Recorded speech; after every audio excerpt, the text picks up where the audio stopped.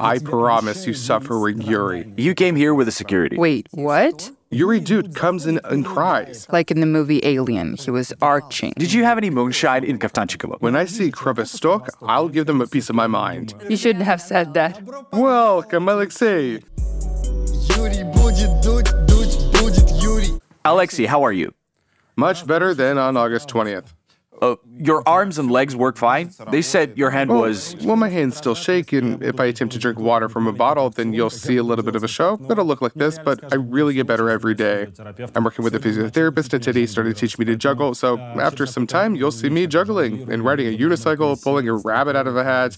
Well, well, I just need to do a lot of like left or right exercises, so to remind my brain to function properly. You see, like Novichok does damage to the nervous system, and uh, there was a recovery period, but everything will be fine, and I'll get better. Did you get up by yourself?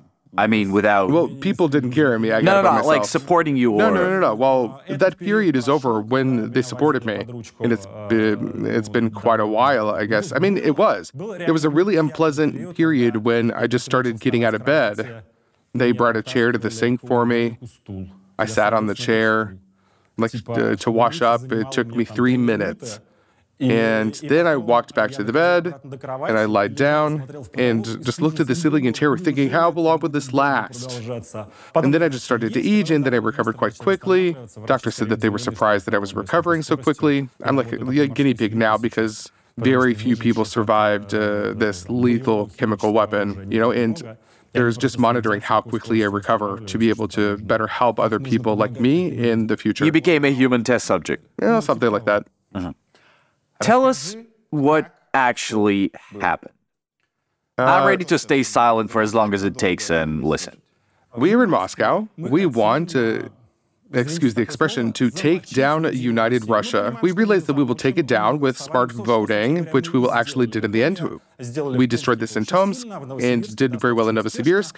And we prepared an investigation, shoot some footage in Novosibirsk and Tomsk about local scammers. And we knew that many local people would watch it and respond to the call to participate in smart voting, which would hurt United Russia. Good people will become deputies, some bad people will stop being deputies. It took us a long time to prepare. Then we eventually came and we spent a lot of time shooting in Novosibirsk in several different locations. Then we went to Tomsk. Um, of course, on our way there, the police stopped us. It was obvious that we were being closely watched, but nobody bothered us. And in Tomsk, we also filmed in several locations. In general, we did nothing special. We'd film, then return to the hotel for the night, and then we'd film again. And then it was time to go to Moscow. My show comes out on Thursdays, and uh, uh, and so it was Thursday, right? I woke up early in the morning in a great mood, and uh, well, the day before, I'd, I'd go to swim down in the Tom River. In Kaftanchikovo. In Kaftanchikova. By the way, everyone in this village now, I didn't know it was called Kaftanchikova at the time. Super dark riverbank, dark water. It's one of my hobbies. Uh, where wherever I go, I like. I uh, when I went to our uh, to Arkhangelsk to our employee at Shevdeninev's court hearing, when we came to Tomsk, I said, "Take me somewhere for a swim." I I got into the water to sort of check out like the dipped here two box in Kaftanchikova, as it turned out. Got back to the hotel, went to bed. Woke up in the morning feeling good, uh, took a shower, got dressed, went to the airport. Everything was great at the airport. I felt fine. Bought some candies. I mean, I went back trying to recall the exact moment I first felt bad. I remember that I felt perfectly fine uh, at the airport because my only concern was I should bring some candies from Siberia for the kids.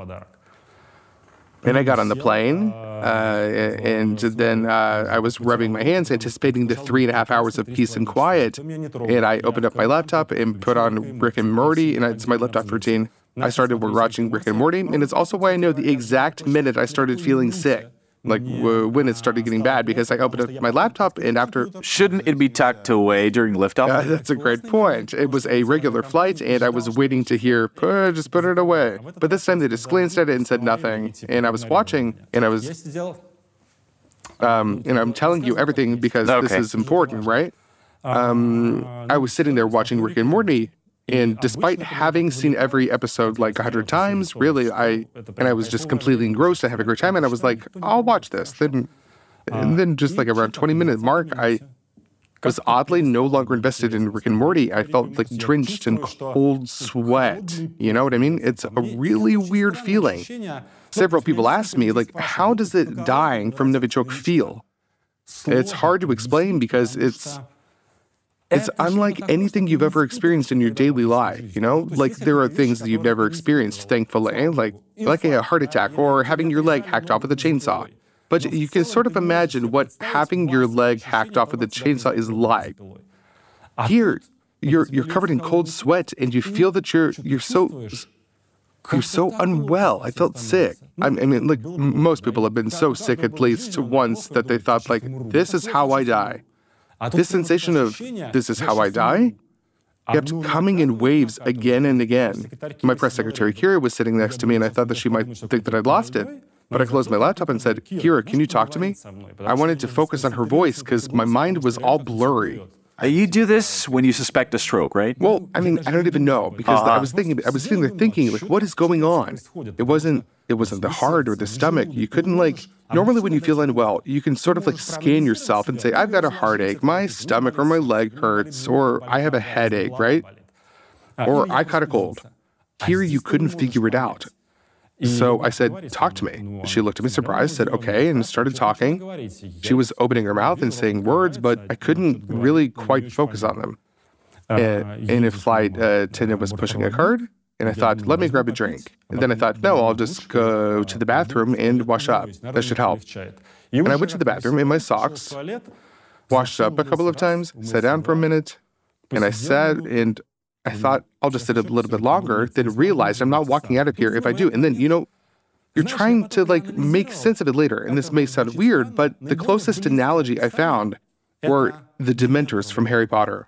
Rowling's description is uh, a Dementor's kiss doesn't hurt, it just sucks life out of you.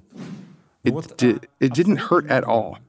But the main overwhelming feeling is I am about to die right now. It's pretty hard to, like, you don't experience this in normal life, thankfully. Chemical weapons are banned for a good reason, actually, because they're truly terrifying things. All these, like, novichoks, organophosphates, and the like.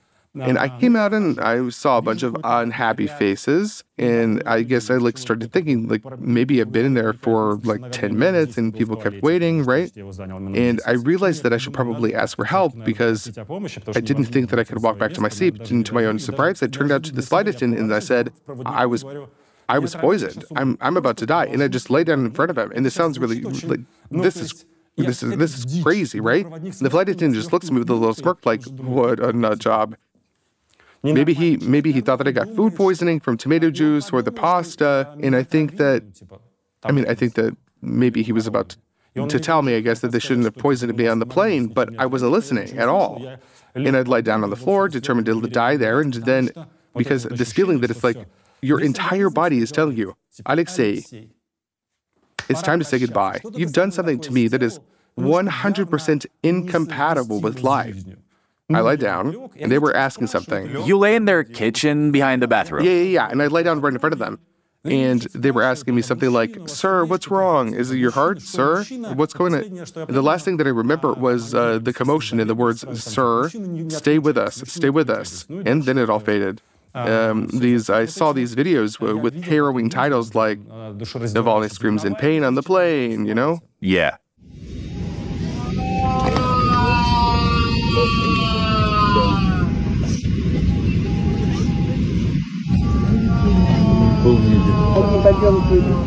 I was evidently shouting, maybe from uh, maybe from hallucinations or something, but I can't remember it, and it didn't hurt at all. But it's worse than pain.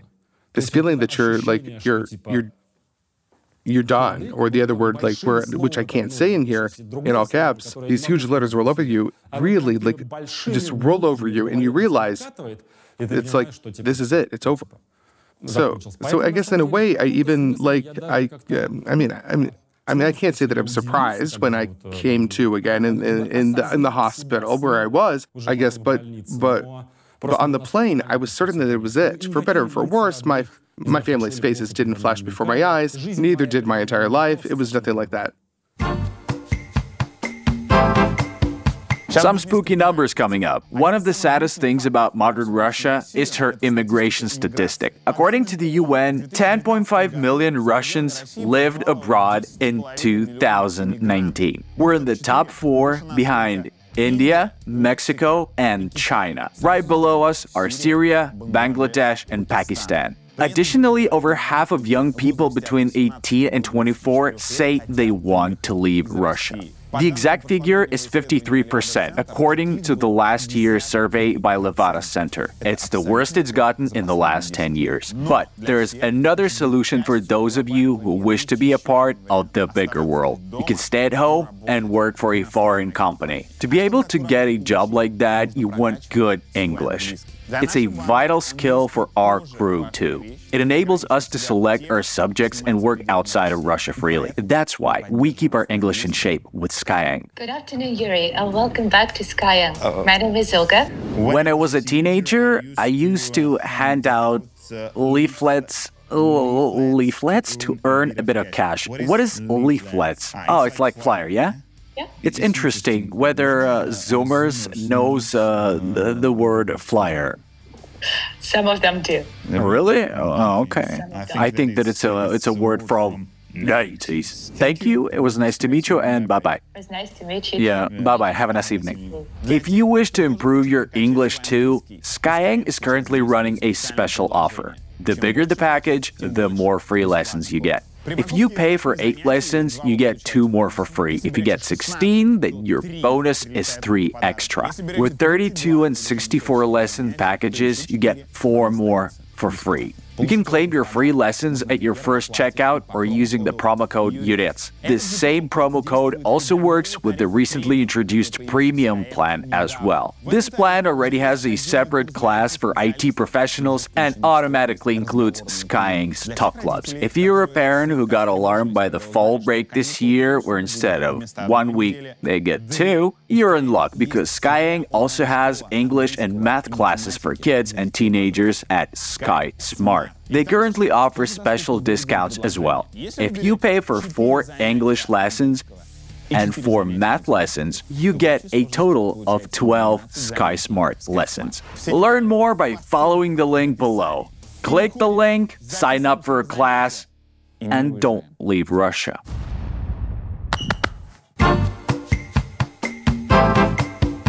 Yulia, how are you? I'm good. Much better than a month ago. How was it a month ago? Scary, probably. What do you want to hear from me is that it was scary. It was scary, yes. But rather, the first thing, I can't find one word to describe this feeling, but it was always a feeling of don't take it easy. Don't let your guard down. Hmm. Where were you and what were you doing when you received the message? Um, There was a call from Kira. Um, I was at home. It just happened that Alexei was supposed to arrive at 8 in the morning, and I offered to meet him at the airport myself. Oh, so you were planning to. Yeah, I was planning to, so I woke up early. I saw it because I usually turn off my phone at night, so I heard this call at 6:40. Luckily, I wasn't asleep uh, yet, so I picked up the phone right away. Kira said, Yulia, stay calm.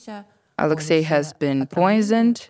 The plane was forced to land in Omsk. Oh, wow. Oh, it's like saying, tell mom everything's fine. I'm in. Approximately, yes, it was like that. Well, it was brief. Everyone was, and she was in shock. She was supposed to quickly convey the key information too. I said, all right, not all right, but okay, and uh, hang up. Then I thought, probably shook my head. I don't remember if I shook my head or not, but emotionally, I definitely shook my head, closed my eyes, called her back, and said, Wait, what? I probably must go to Omsk. And she said, They say he might be fine in a day. Maybe you shouldn't come. We'll fly ourselves. I said, No, I'll still go. I quickly checked the flights. Another stroke of luck, besides waking up early, was that uh, the flight was in two hours. I grabbed my suitcase, grabbed my things. I I'd been packing like this for the first time, didn't fold anything like just into the suitcase. It was like shown in the movies. I pulled something out to the closet and threw it in the suitcase. Later, when I opened it after a day, I found some dresses, skirts, some strange things. I was surprised myself that I brought them because I just threw them into the suitcase, closed it, and uh, bought the plane ticket in the taxi. When I called the taxi, sat in the taxi, I told the driver, You know, my flight is in two hours. I have to make it. He was surprised and and asked, uh, Didn't the people you're flying to warn you in advance? I said, Well, the situation turned out the way I could. Yeah, I've just found out. He drove me very quickly with no issues. I have never insisted on breaking any rules. We were lucky there weren't many cars on our way. I arrived and realized I. Mm, I, of course, was thinking about something else. Basically, I still had two and a half hours before the flight. I just uh, miscalculated. It was in three hours, not two. About half an hour or a bit more. He drove me. Um, he drove me to the airport, and I had to wait for this flight at the airport for two and a half hours. And this perhaps was apart from the plane itself, waiting um, for this flight and the plane itself. It was almost the scariest thing, except for the moment when I saw Alexei at, uh, at the airport. It was. At first, Kira called and said that uh, the plane was forced to land in another city. Well, it was clear planes are not just forced to land in another city, something serious was happening. But then her next text message was Alexei is in a coma on a ventilator. Then it became clear, and I was just at the airport already, and it became clear that the situation was critical enough. And I went to the cafe, I sat down, and Mm-hmm. I burst into tears. I mean, I wasn't crying per se. I couldn't hold back my emotions. I wrote to a friend. She said, Do you have black sunglasses with you? I said, What black sunglasses? Why would I sit in black sunglasses? She said, Find black sunglasses. And I happened to have black sunglasses in my bag, the bag I took with me in the morning. I put on these glasses at the airport. I ordered myself whiskey at 8 a.m. 50 grams. Well, maybe I felt not that it got easier or the opposite, uh, but I let my emotions go, so I burst, uh, burst into tears. You said that you survived thanks to the pilots who landed the plane and the emergency team who gave you an antidote shot. Yeah, they operated ac- according to protocol. And the beauty of this situation is that they operated perfectly according to protocol. Really, that's what they were had. The pilots were told that a passenger was about to kick the bucket, and they landed the plane ASAP. The paramedics were told the guy's out, they confirmed it and injected atropine. And the emergency team there showed up and they said, Yeah, he looks like an overdosed junkie, really. He clearly has poisoning. He used atropine, take him to the detox clinic. And they did everything the protocol required perfectly. But I mean, you know how Russia is. When everything goes according to protocol, what? It is a series of lucky coincidences. Sadly. But probably the scariest thing was to get on the plane and realize the flight to Omsk takes about four hours.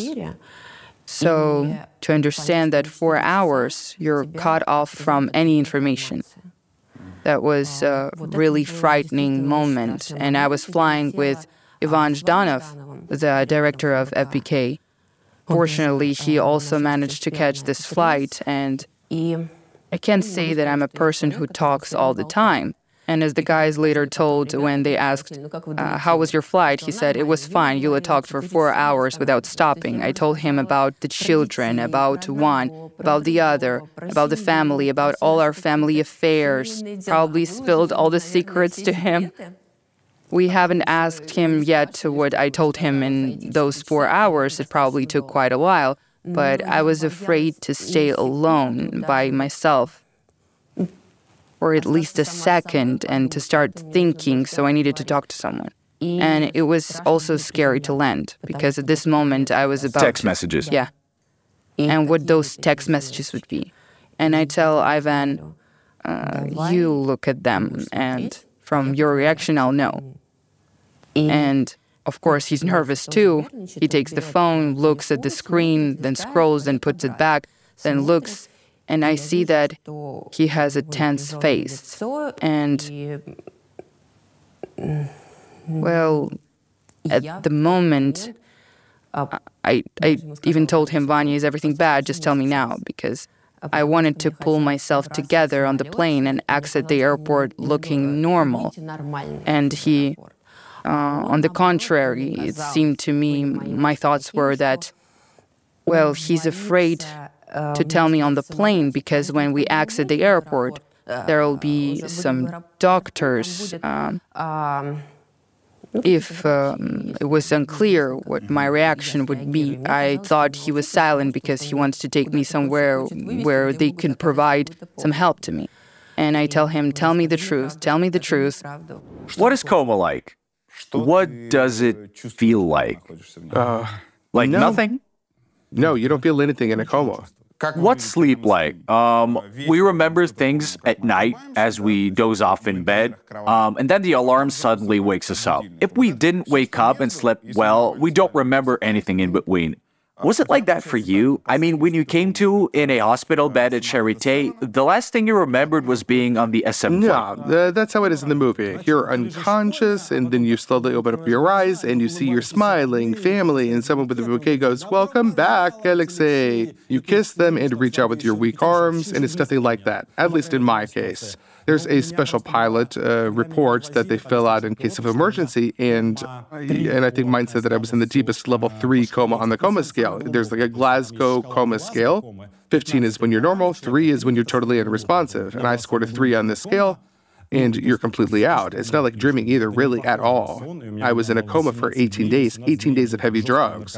And then they got me off of the drugs. So I guess I think that I probably experienced half death, then coma, and then some drug. The hallucinations, really, in this whole drug trip were by far the worst part of this whole experience. Um, it was totally like uh, Pelevin's books or Fear and Loathing in Las Vegas, and I saw the uh, deep end of it. You know what I mean? And it was worse than in the books too. It was really bad, I can't imagine actually paying money for it. I went through several stages of, and I can't even tell for certain right now which things happened and which didn't. For example, for a while, I I lived in this reality in which uh, my wife and Leonid Volkov came to visit me and said, Alexei, you were in a terrible accident uh, in Berlin. And we've, uh, we've brought a professor in from Japan, and he was standing next to them, and he'll give you new legs and a new back. And for some reason, he looked like this, this like octopus dude from the first Spider-Man movies. You know what I mean? Well, wait, so you were seeing all these things, right? I didn't just see them; they were as real as you are. That was my reality for several days. Obviously, that conversation never happened, and I probably saw it when I was either still sleeping or sitting up with an open mouth, uh, like not recognizing uh, anyone in the room. And it's possible that I had super interesting conversations with him in my head, but they didn't Japanese react to it. doctor in the car crash. Yes. Oh. Uh, that was the most pleasant, uh, not even hallucination, it was semi-reality. And I knew that I was in a hospital. I'm unwell and I'm back from a coma, but also the car crash and that the Japanese professor would give me new legs. And at nights, I'd alternate between dreaming and hallucinating. Then this car crash reality slowly faded away, and I went through several different stages. And then I started to understand on the level of senses that Yulia was coming to visit me. Like she adjusted my pillow, and it was very important to me. Like really, and I identified her and always anticipated her. And this was another step. And then something else happened. And I guess I started to recognize people. Like when they told me that Leonid Volkov told me about this this this hilarious episode, right? It had A week been like after a week, you had already regained consciousness. a week awake. Yeah, And- let's call it. And these hallucinations occurred when you were already awake. Yeah.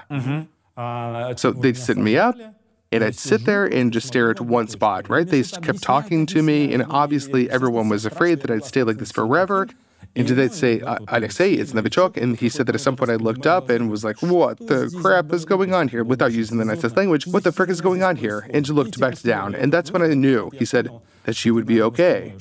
But it took a while. Like for a time, I knew what was happening and I recognized and I talked to people, but I possessed by the idea that I'd fully recovered and said, Get me out of here. And today I know that it was just another hallucination. The scariest hallucination was about the band uh, Krovostok. And I even knew that they were a hallucination as well. I'd fall asleep, and when I see Krovostok, I'll give them a piece of my mind. And I'd, Sergey back there is a and fan. I'd get teleported into a cell. And they would tell you to like list the house rules, which were like some lines from a song by Krovostok. And it lasted indefinitely. You you recite them once, twice, but then they ask you like ten thousand times again, and until you answer, I guess you don't answer. Like you, you're not allowed to sleep. That was the worst. I think. In my case, all this drug tripping and hallucinations weren't about like pink elephants or talking bunnies or anything nice. It was it was actual real torture. I mean, drugs are bad. I, and and I, I, again, I can't imagine someone paying for it and enjoying it. It was it was like really, really, really bad. I think. And Yuli told me another funny one. I was obsessed with running away. One of the first things that I remember is trying to get out of this bed and all covered in tubes and wires. Uh, you know, and so I ripped the tubes out and gushed blood all over the place. And nurses had to rush in and put me back down. But they didn't tie me up at all. They told me later that they discussed tying me up and decided against it. And I could already talk to my wife. And the doctor came in and we talked and he left. And then I turned to Yuli and said, Go take his gun. We'll bust out. You know? And, and that was when I could talk. I knew that she was my wife. I could say some words. It's like a ladder that you keep climbing. And first you reach the point where you can like like my speech pace is back to normal and I can write again and I can read again I can do it all of it and I still have difficulty doing some certain things but I'm recovering pretty fast. Typing? Much harder, but I, I relearned it. I started using the computer two days ago. My typing kind of looks funny, but um, my son Zakhar started to train me in CS uh, Go, and it's a fun means of um, of recovery. Helps of- fine motor uh, skills. yeah, it really does. Reaction too. It really helps your reaction. So it's a ladder that you keep on climbing. And if you're lucky to be in the hands of good doctors, then you'll climb all the way to full recovery, if you're lucky. But if you're unlucky, then you'll be uh, stuck sitting in a chair with an open mouth with people unable to tell if you can understand anything, any like uh, uh, any signals or not. What was the most challenging in the hospital? To see him to see him and realize that the situation is probably even worse than I um, expected. To see fear in the doctor's eyes, who are afraid to tell you something, clearly holding back, clearly hiding something. But of course, uh, the scariest thing was to see Alexei in a in a coma, and he also had seizures. It's like in the movie Alien. He was he was arching. You mean in the hospital? Yeah, well, I don't know how it happens. Some um, muscle spasms or something. And it was terrifying, of course. But I understood that I couldn't relax because in this situation, I'm his closest person, his wife. If I fall apart, everyone around will start falling apart one by one. So I tried I tried to pull myself together, and it was scary when I went out and one of the doctors not administrative staff, so to speak, like chief doctors, deputy chief doctors, mostly those who communicated with me, or rather whom they sent to communicate with me, I guess. But the doctors who actually worked, so one of them said to me in the corridor, What a tragedy, hold on. And you know, when they say that, it's almost expressing condolences. So it was scary. And with every moment we were there, I realized that I had to take him away. I had to take him away, I had to take him away, not fall apart, and take him away. Get him out because they won't give him the care he needs. I mean, Why because- so? Because they won't tell the truth there. Hmm. Because it was visible, for example, where I came to the chief doctor, they led me to him. There was the chief doctor, the deputy chief doctor, and a woman who, mm, not a woman, a lady, uh, who is the deputy minister of health of the Omsk region. Then another deputy minister of health came. Well, it was such a very strong administrative pressure. And I also told them, Excuse me, I don't even want to talk to you. I want to discuss this with the doctors. I generally didn't understand why there were so many officials there. How did this poison get on you? Nobody knows. First off, do we know if it was liquid? Nobody knows. It's it's super secret stuff. Uh, and having access to this poison here, this substance, novichok itself is, it's a chemical warfare weapon. It's banned. You can't store any amount of it anywhere at all. And these days, really, like, you know, nobody, one of the problems for Putin is that it's not so much about whether he's the one behind this or not, but that it's a proven fact that someone in Russia uh, obtained Novichok and used it, but that it's a proven fact that someone in Russia obtained Novichok and used it, which itself is a violation of the Chemical Weapons Convention. It can be a spray, it can be a liquid, it can be in contact form. One current uh, uh, uh, understanding is that I left my room poisoned after touching the water bottle, meaning that I was poisoned at the hotel. And uh, then, like, uh, which is where it was. But then three or four hours passed, which is a long time i.e., I had like a drunk, eaten, or inhaled it, I would have bought the farm in 30 to 60 minutes. Instead, it took quite a while. Meaning you only touched it? I either touched it or, I mean, I couldn't take like a shirt off a hanger. Like I touched the hanger and voila, it could have been my clothes. It could have been anywhere, really. That's why. That's why it, it's called a chemical weapon. Organophosphates in general are not are really not that bad. They're dichlorvos, right? It's one of them. Only to get dichlorvos poisoning, you need to drink a bottle of it, and they'll still save you. Uh, and the point of chemical weapons is that they consist of several components that are each harmless on their own. Also, you only need a tiny amount to kill somebody with it, but most importantly, it dissolves in the body completely. That's why they kept me in Omsk for so long. And they waited for it to dissolve inside my body, wanted all traces of Novichok to disappear, but they miscalculated it. They kept you there to wait out the breakdown process. Is My that theory- your theory? My mm, theory is it's not even a theory. It's it's my wife's and everyone else's account of what happened in Omsk. And I'm really grateful to them for straight up fighting for me. But every I think evidently that their first hope was that I'd just die there. You you know, and they hoped that I'd either uh, either die or turn into a vegetable.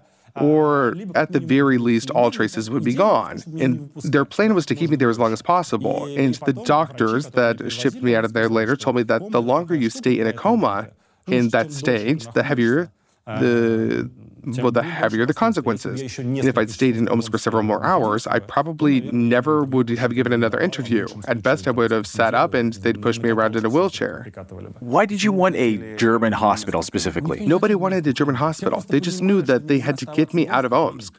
And for one, like Om, the- Omsk healthcare is known for its inadequacy, even by Russian standards. But most importantly, uh, everyone realized I was poisoned here. And that I was on death's door and needed urgent poisoning treatment. And then I guess these guys come out and go, he had too much moonshine. You gonna leave me with these doctors here? So you don't believe in the Hippocratic Oath? What do you mean, don't believe? Here's my understanding. Look, I may be naive, but um, I've seen situations where I've never been in a foreign hospital. But in Russia, despite our messed up healthcare system, still has many talented doctors. And by some miracle, some of them work in free clinics. They Yeah. too treat, they save lives, and do their job well. I thought that when a doctor faces a choice to either honor the Hippocratic Oath or follow the orders of some suit, they'll either think about or automatically chooses the oath. Am I too naive about that? No, you're not too naive. Uh, there were a lot of amazing people, even in this Omsk hospital, among the low level staff. But their head physician is not a doctor, he's a member of United Russia. What? He's gonna tell his doctors to either not treat you or treat you incorrectly? Listen, he came out and said that the official diagnosis was metabolic disorder. A guy drops down on a plane and falls into a coma, and they go, This is not poisoning. We did 60 tests. There's no sign of poisoning. Besides, doctors who would come up to me and they would say, Get him out of here. You know why they poisoned me outside of Moscow? Because they knew that, for one, there's a lot of great doctors in Moscow, and two, they're supervised. So maybe not as effectively as their colleagues in Berlin, right? But Moscow doctors would likely catch me alive, whereas if I had stayed in Omsk, I would have died and ended up in an Omsk morgue.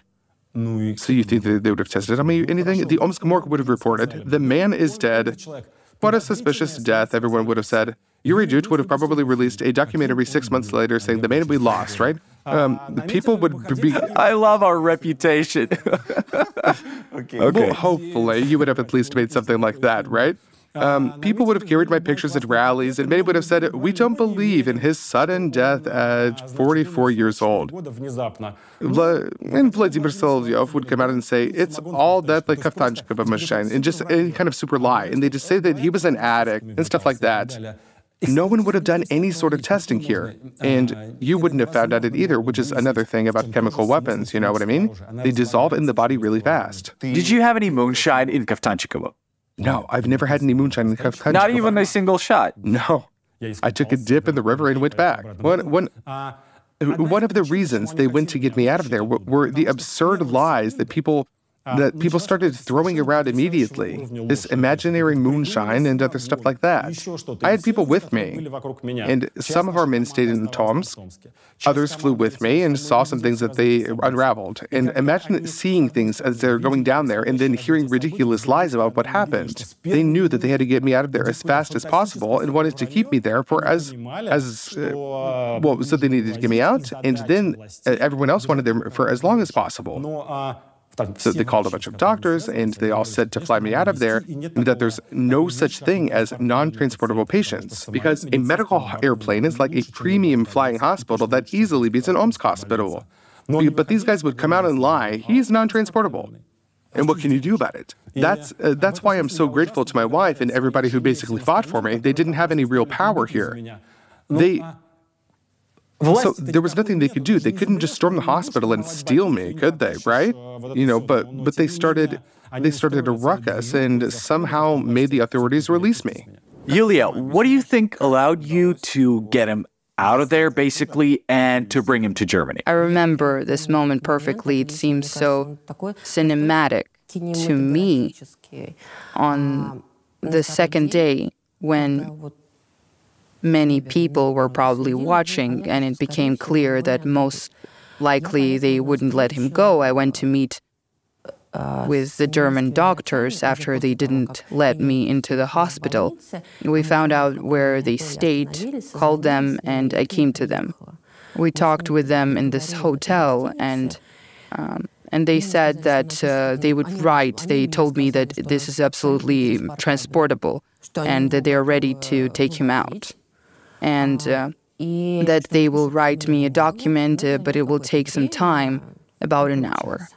Then I left the hotel. On one side, there was a river, a wooden flooring uh, where I sat down, and on the other side, there was a wedding. And there was such a celebration. People were singing some songs. Um, Shouting cheers? yeah, uh, they didn't shout cheers, but everyone was uh, beautifully dressed and decorated. And it was like, at that moment, I realized that something, sur- something surreal was happening. It was also strange. Probably at that moment, I thought that I. I didn't think that I wouldn't be able to take him. I thought that probably today I won't be able to take him. I think there were a lot of efforts from many people, and probably was the pressure from my side and the pressure uh, in the press, on the internet. We wanted to take him, and uh, they wouldn't give him to us. At uh, the international level, I think Merkel uh, and Macron made some statements, but honestly, I didn't follow this much. There was also my letter demanding his release to Putin. I think it was some, uh, all these efforts came together, and at some point they realized that it would be easier to release him than to stage such a show. It's a bad word, but a show in a sense that they would let him die on live TV. However scary it may sound now, after the story, I learned to say the word death and dying because in my family, when Alexei uh, or the kids say something like that, I always scold them terribly and I don't like to pronounce these words. Now, um, now somehow it became easier for me to do it because I understood that he would probably die there. Your team later collected evidence from your hotel room. Yeah.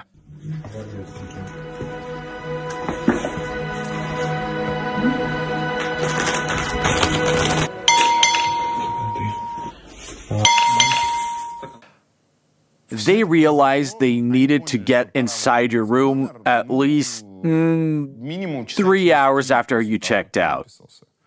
With the road to No, the airport. sooner, much sooner. Oh, hold on, hold on. With the road Well, to the airport. you checked out from where? the hotel after you left it. Why hadn't the staff cleaned the room yet?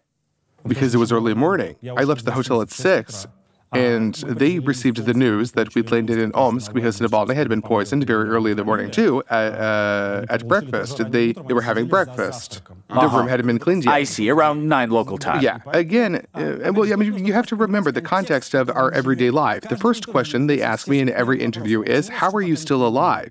And we discuss the scenario where I get assassinated all the time at the ACF. You know what I mean? And we mostly do it jokingly, but still, but still, uh, they simply did what they were prepared to do for way in advance. And they told them Navalny was poisoned. They said, well, let's check out his room to see what he ate and drank. And they went to the room. The staff wouldn't let them in, and they set up a watch to stop anyone from entering.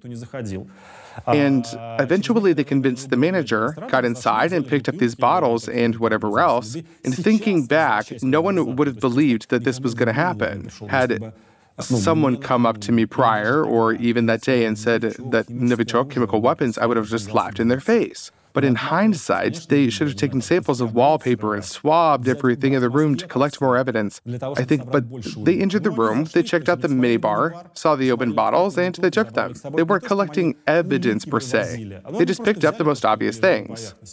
One of the collectors was Maria Pevchikh. Who is she? Head of the investigations department has been for years. Many journalists know her. Why didn't anyone except for those many journalists know about her No, well, it's just not true that nobody knew about her. All investigative journalists in Russia really knew her. She's been working with the ACF for many years. She just decided a while ago that she wanted to stay out of the public eye, which is why so many people know Georgy Alburov from investigations. He has a Twitter X account. A lot of people know him. And Pevchikh was never a secret employee at all. All investigative journalists have known her for years. Some articles said that Pevchikh and you stayed in the same hotel room. Is that true? Uh, well, obviously not. Moreover, we have a special protocol. No one ever enters my room. For example, she she was responsible for a shoot and had one of my shirts, and I needed to, to get it from her. And she messaged me. We met in the hallway, and she gave me the shirt. The protocol says females never enter my hotel room or anything like that because we all know that they could record it, and then they could just go. A woman enters his room there, and three hours later, the now disheveled figure sneaks out. You know what I mean? So it's it's obviously made up and completely unrealistic. And otherwise, they would have already released videos of women or even men Mm-hmm. entering my room, and it's not true. But nobody ever did. One thing I found odd about the transportation of evidence. When asked where the evidence were transported, she said it was strategically stowed in different bags. Some was in carry-ons, the rest in luggage. But remember when the Skripals were poisoned? There was a woman called Dawn Sturgess Yes, and her and her friend. They touched this perfume bottle. I think her friend was in critical condition and Dawn herself died. He gave her the bottle, and she thought that it was perfume, sprayed it on herself, and died. I'm trying to get how do you carry on board something that could kill everyone on the plane, literally? Again, so let's rewind. At the time, nobody knew about Novichok or that this was evidence. They examined the room and took the bottles because the initial assumption was they, they got a message Navalny was poisoned. They went to my room to find whatever I ate or drank. Maybe there was cyanide in my water, right? And just even knowing how insane our authorities are, the idea that they'd use lethal chemical weapons within Russia was was still pretty extreme. It just didn't make sense. At the time, no one thought of this as, as evidence. And when the team and my wife brought my clothes into these bottles there. Their idea was that they should help the doctors figure out what they're treating so they would know what to do. And the guy passed out. So what are we treating? But they so just, but they knew it was poisoning, didn't they? What, what kind of poisoning? The basic uh, metabolic panel returns nothing. That's the whole point of chemical weapons. To know what you're treating, you you want to first figure out what the poison is, and that's why they uh, they well they didn't hand the bottles over to local security agencies or anything like that because they handed everything over to the people at the hospital, and they never treated it as evidence. And our investigation department guys, including Pevchikh, had no doubt in their minds that I'd been poisoned, most likely at the hotel, probably, and there would be a cover up operation to make to make everything look as inconspicuous as as possible. So just in case, they stowed these items around and tried to fly them out in a way to avoid confiscation. That was it. But no one gave it much thought at the time. It was much more of a formality. Uh, I mean, I mean seriously. It seemed highly improbable that someone had come into the room and poured poisonous powder in uh, in one of the bottles, but they just took them just in case. Have you read the report that Maria Pevchikh's father is connected to a chem lab? I have. I've read a lot of theories. They're all laughable. This theory is as dumb as But- the one with But Kaplanchik is he connected or Well, not? as I understand, no. It's all made up. He has a connection to some kind of business, but it has nothing to do with chemistry at all. You know what I mean? Have you had any doubts creep in? No, I don't suspect anything. I mean, again, after I'd come back and regained my cognitive abilities, when they first mentioned in Novichok, be, be, being sound of, sound of mind by then, I said, Are you high? It can't be Novichok. They told me that three labs in three different countries had said that it was Novichok, a chemical weapon. It took me a while, but I processed and accepted it. A regular chemist doesn't have access to this type of weapon. Putin said something silly to Macron, if the media is to be believed, that I'd cooked some Novichok and poisoned myself. I did it myself. You believe he could have said that? Well, the fact that the French press covered this with a fair bit of detail, and that the French Ministry of Foreign Affairs then said that they were investigating the leak, I, I really doubt that it was a leak, though, is proof that this was no accident. Did they well, leak yeah, it? They leaked it themselves and launched an ah, investigation. Oh investigation. boy, oh boy. Well, it looks that way. Oh. I mean, I think that they were just outraged by the audacity of Putin's lies. Because when you're a president, you sort of expect a certain level of respect. And I guess that they expected him to say something like, well, we had an in house issue. We'll just. And we'll just take care of it ourselves. Uh, we can't share all of the details, but we'll handle it. So please don't worry. Instead, he goes, Navalny's faking it. He probably poisoned himself. And any anyone would get annoyed. A, a lie of such order is annoying.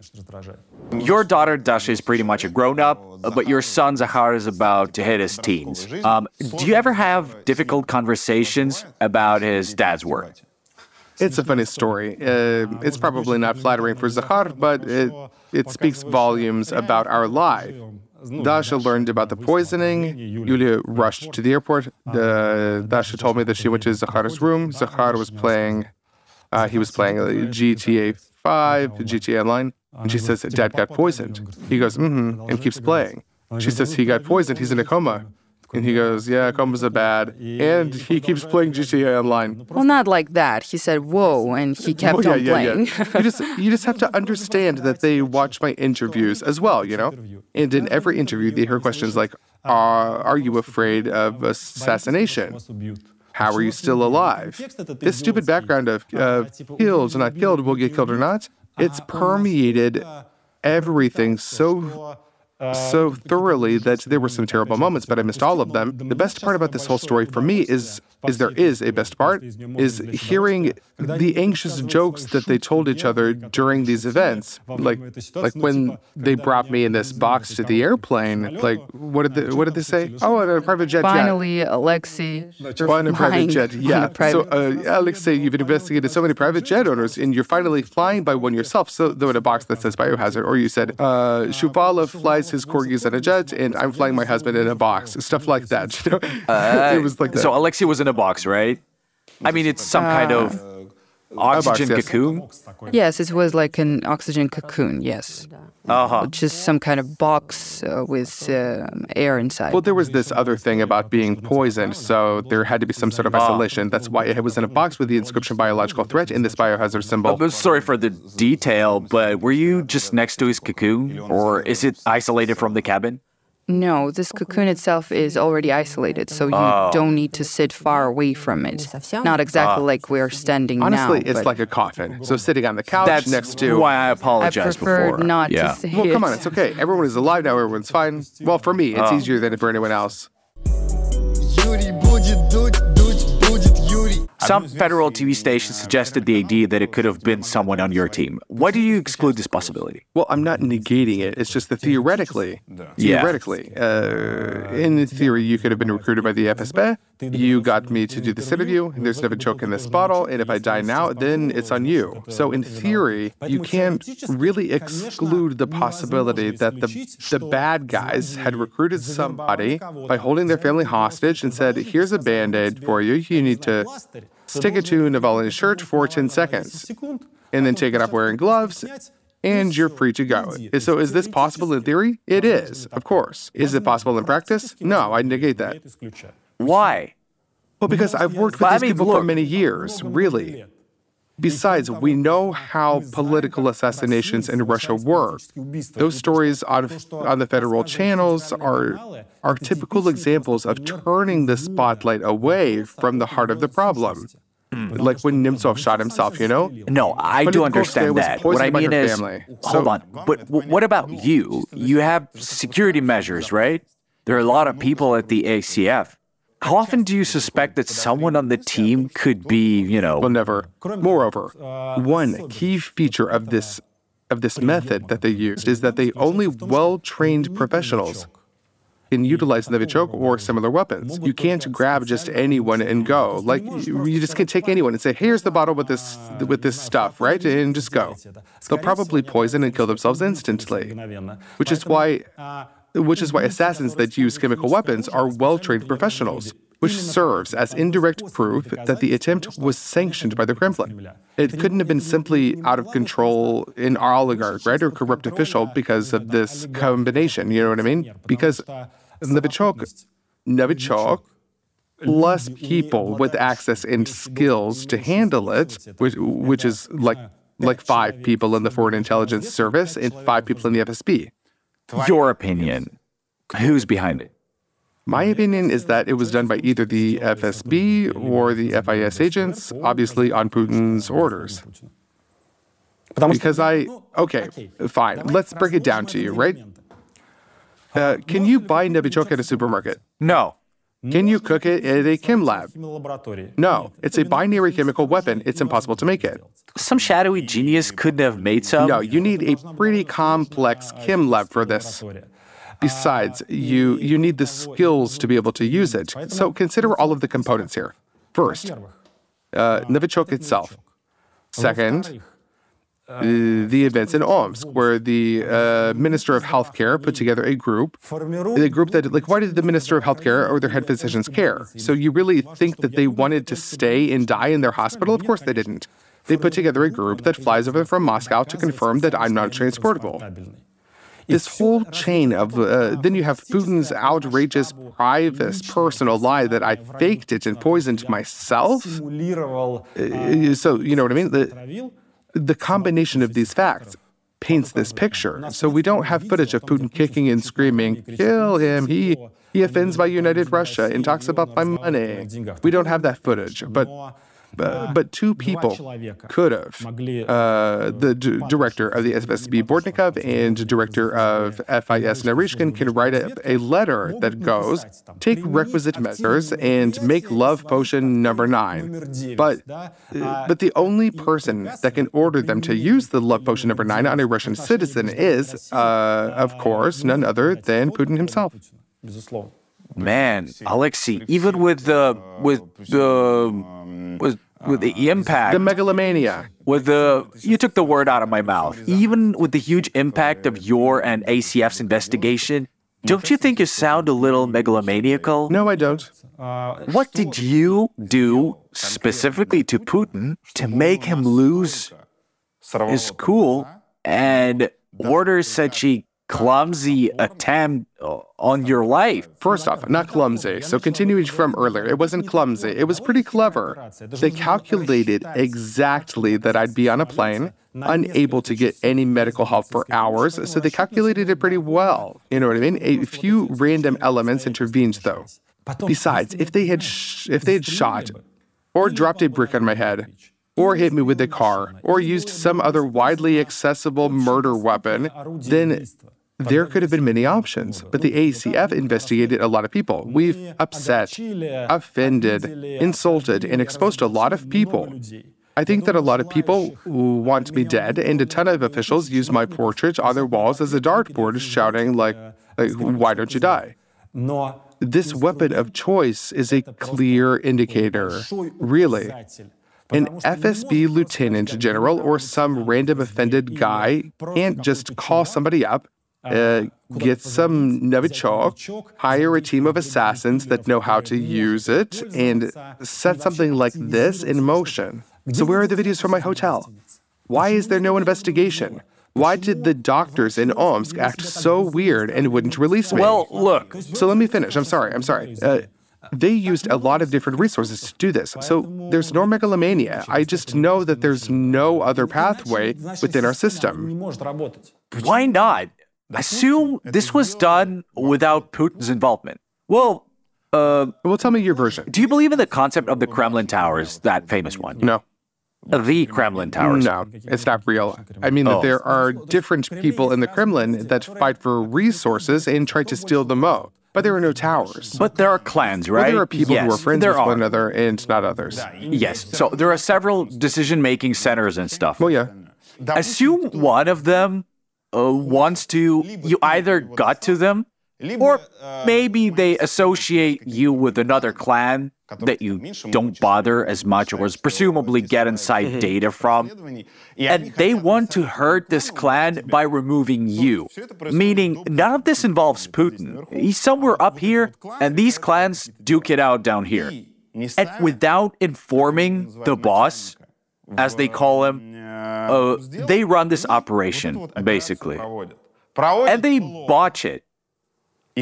Once the news gets out, their boss tries to play it down somehow. You know? Everything about your theory is fine, except for the murder weapon. It's impossible to obtain. Well, well, you see, again, so you can hire an What do assassin you mean to shoot me. Impossible? You could. The law says, I mean, uh, are you saying that there's no person that could use Novichok without the president knowing? Is that what you mean? I want to say that you can't do this without the director of either FSB or FIS knowing. Russian law says you cannot carry firearms on you. You know how many people actually possess Because firearms? you know where to and- buy and how to it- use it. You can't buy Novichok. That's the thing.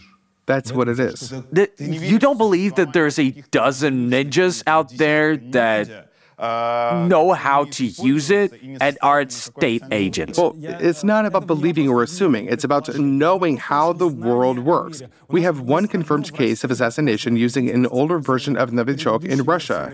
And Uh, one of its creators sold an ampule of it to the assassins for 4,000 euros, if I remember correctly. And so you, you can't just. This happened many years ago. And there's no black market for this thing at all. Besides, it's now been proven that it's some new modification. It's not a it's not a normal poison. It's not something you can just buy. That's why it turned it, turned into an international scandal.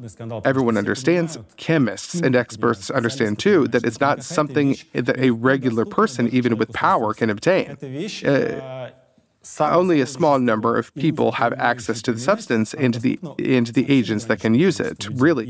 And so, uh, say someone tells the FSB or the SFR uh, says, "Kill this one," and they'll go, "Sure thing, we'll do it, but we need it in an official order." So we will cook the love potion number nine and we'll kill him, but we need appropriate uh, appropriate paperwork from you. What paperwork?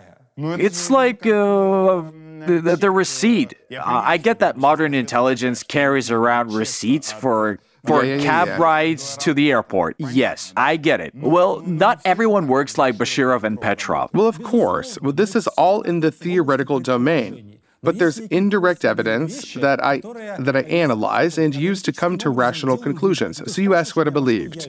You actually believe that Putin straight I, up I don't gave see the any order? other explanation. So when I ask you why, I have an answer to that. The last two years, our system has been under unprecedented amounts of pressure.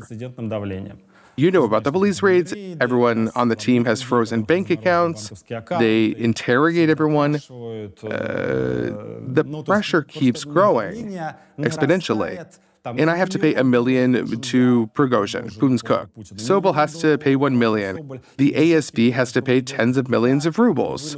And so we have to switch organizations. Despite all of this, we didn't just survive. We got stronger. We smacked United Russia pretty heavily at the recent vote. And so coming into the Duma election, they knew that they were in big trouble. So I think that, uh, again, this is just my theory. You can call it megalomania if you wish. In a sense, we became the victims of our own success. We survived their onslaught. Moreover, we turned every bit of their pressure into new victories. So they come in and take everything, and we go, You guys help us replace our stuff, and end up getting even more donations. And they don't register us for elections. We use the smart voting and other political parties to beat down United Russia. And so just look at Tomsk. We took their majority from them. Don't underestimate it. Additional context Khabarovsk, Belarus, and everything. So, so Putin is personally concerned about his power and his money. You don't doubt that, do you? The matter of united of United Russia's survival and the matter of its majority in councils is directly tied to Putin's personal power and money. So obviously it bothers him. Have you considered Prigozhin by any chance? Listen, I've considered everybody, but again, the weapon of choice really narrows it down substantially. Do you remember the moment when he came to? Uh, yeah. On the very first day when we arrived, I told the German doctors, please, when you're bringing him out of coma, well, you know, we've all watched movies where uh, someone lives in a ward, uh, opens their eyes, and all the relatives rush to them, hugging, and they remember everyone and uh, not everyone, and the whole movie circumvents around it. But I warned them, please tell me I'll also be in the hospital. They said, yes, yes, okay. And then, when it started happening, it became clear that in real life it's completely different. They reduced the dose of the medication that kept him in a coma, and he somehow uh, he somehow opens his eyes. He opens his eyes and closes them again. It's like he's looking, but maybe he doesn't understand anything. And this lasts for several days. There was no such thing as he woke up and said, Good morning, everyone, or smiled. There was no such thing. But I certainly remember the moment when he didn't speak because he had this uh, tracheostomy. I think that's how it's called, uh, basically a tube in the neck. So he couldn't speak. There's a special plug that uh, they turn on at a certain moment and you can talk with it, but it wasn't immediate. And uh, I think he couldn't speak for the first few days.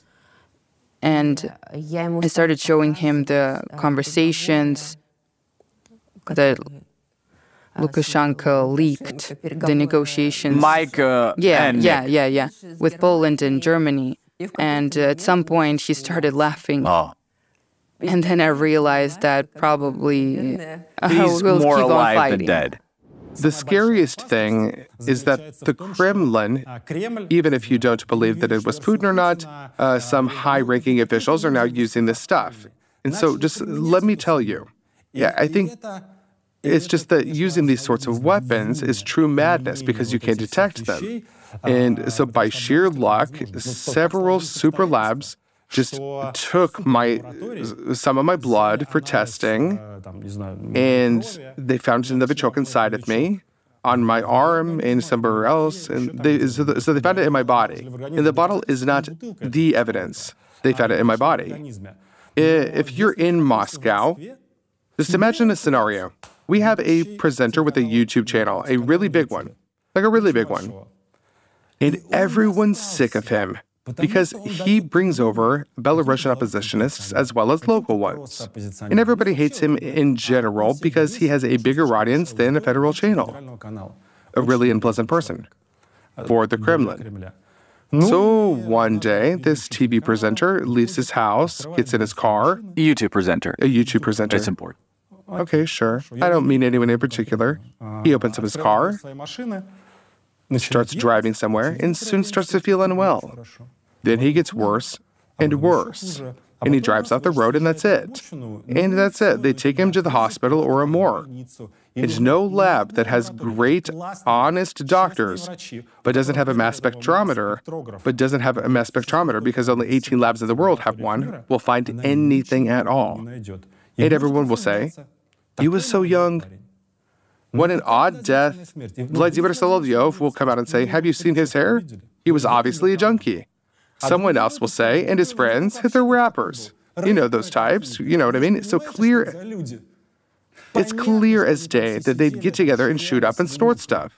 There's another theory here. So he went for a swim in Kaftanchikova. They say that he and his cameraman stayed in the same hotel room. Maybe someone on his team poisoned him, or not. Maybe his wife did it, or not. And this, this discussion goes on, but no one will ever find out the answer, just a suspicious death. That's the scariest part. Again, maybe it's megalomania or not, but everything here indicates that Putin is obsessed with the idea of mysterious poisonings. He loves to think that he commands this Nazgul type army of these secret uh, ninja and assassin like dudes that just terrify everyone. So so, say you're brave and you're not afraid of prison, or you're not afraid of being shot, or killed, or getting your leg cut off with a chainsaw. But opening your car door and dying after that, the stuff's almost mystical. They're loving it down there in the Kremlin that they, they terrify people with the idea that someone could just pat you on the back. And nice knowing you, they really, they really love it. They see this as a method of influence, and it works too, even here in Germany. Um, I was told that some perfectly reasonable people, not prone to overreacting, have said that these Russians and Putin, man, let's stay the hell away from them. They're insane. Because they're crazy. Using the Novichok on a plane against a Russian citizen? What if it went wrong? Say they put it on my shirt, I spill some juice on it, and and then ask the person next to me to hold it while I change. And they die. And do you know why we haven't used chemical weapons since World War I, even before the ban? Because it's dangerous even to the people using it, and it's not very effective. That's why they don't use it. It's guaranteed to cause a very painful death, but it's not very effective as a warfare tool. But as a means of spreading fear and terror among the masses, it's is just perfect. But think how many people in Russia said, they said after this incident, man, they poisoned Navalny so openly, maybe I better just shut up. So, particularly outside of Moscow. Being an oppositionist outside of Moscow was scary saying bold things, running a big YouTube channel. Maybe some maybe some of them won't care, or others will think there's there's some crazy stuff going on out there and no one's going to find anything. That's their goal. Maybe it wasn't even about killing me at all, you know? Maybe they wanted to scare people into submission because, as far as I can tell, they more or less succeeded. About Alexei's appearance after the coma. Mm-hmm. Well, in general, the film critic turned film director Volobuyev said it best in his tweet. After his coma, Navalny looks better than I ever have. Why do some get everything and others everything else? Uh, do you agree with Volobuyev? Well, they can change, especially if he's envious. First of all, yeah, we could switch. Second, Volobuyev hasn't seen my physiotherapy. You know how they show like 90 year old grannies in parks wearing those things? Like, I, I sit on an exercise ball trying to hold my balance with one foot, and I may have lost a little bit of weight, but if you ask me to pick something up, you're in for a little bit of a show. So Volobuyev definitely shouldn't envy me. Uh, hold on, but you were trying to lose weight, weren't you? I mean, you got into jogging and all that stuff. Uh, well, funny thing about jogging, uh, they told me that one of the happy coincidences that kept me alive was that I was in good shape physically. You you know that I jogged, right? For the last two years, I tried to jog thrice a week, and I hate jogging.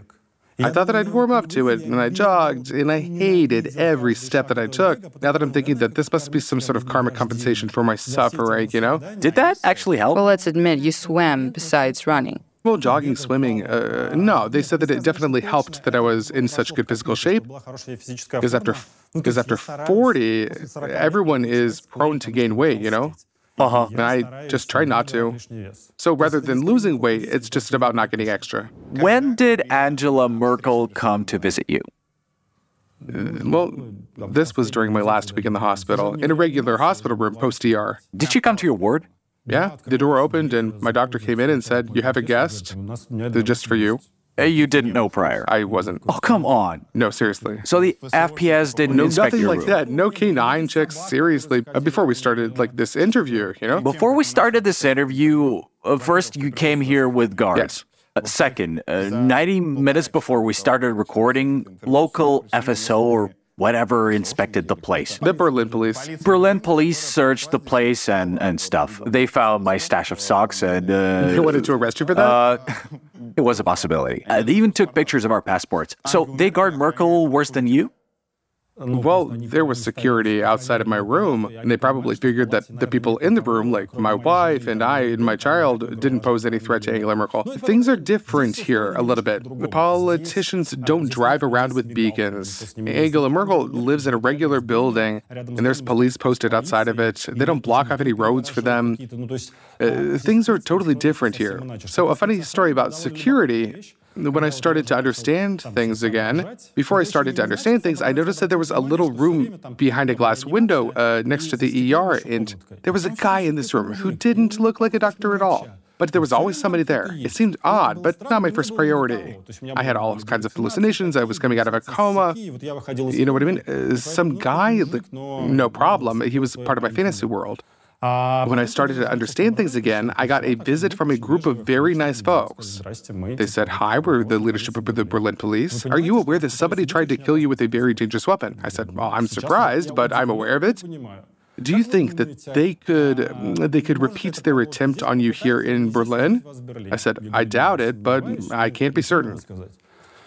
They said, Well, since you're not certain, um, some very odd and unusual things happen around you, and we don't want you to get hit by a car or killed with a falling brick in Germany. And our taxpayers will get really upset if something bad happens to you, particularly if they were they were really diplomatic. So what they actually meant was you, you Russian crazies run around poisoning each other with chemical weapons, while we don't want any chemical weapons inside of Germany. The point is, it's not me they're protecting, but the, the people around me because of well, uh, well because of what happened. They prefer to have some people follow me than to risk things going awry, uh, for them to go wrong.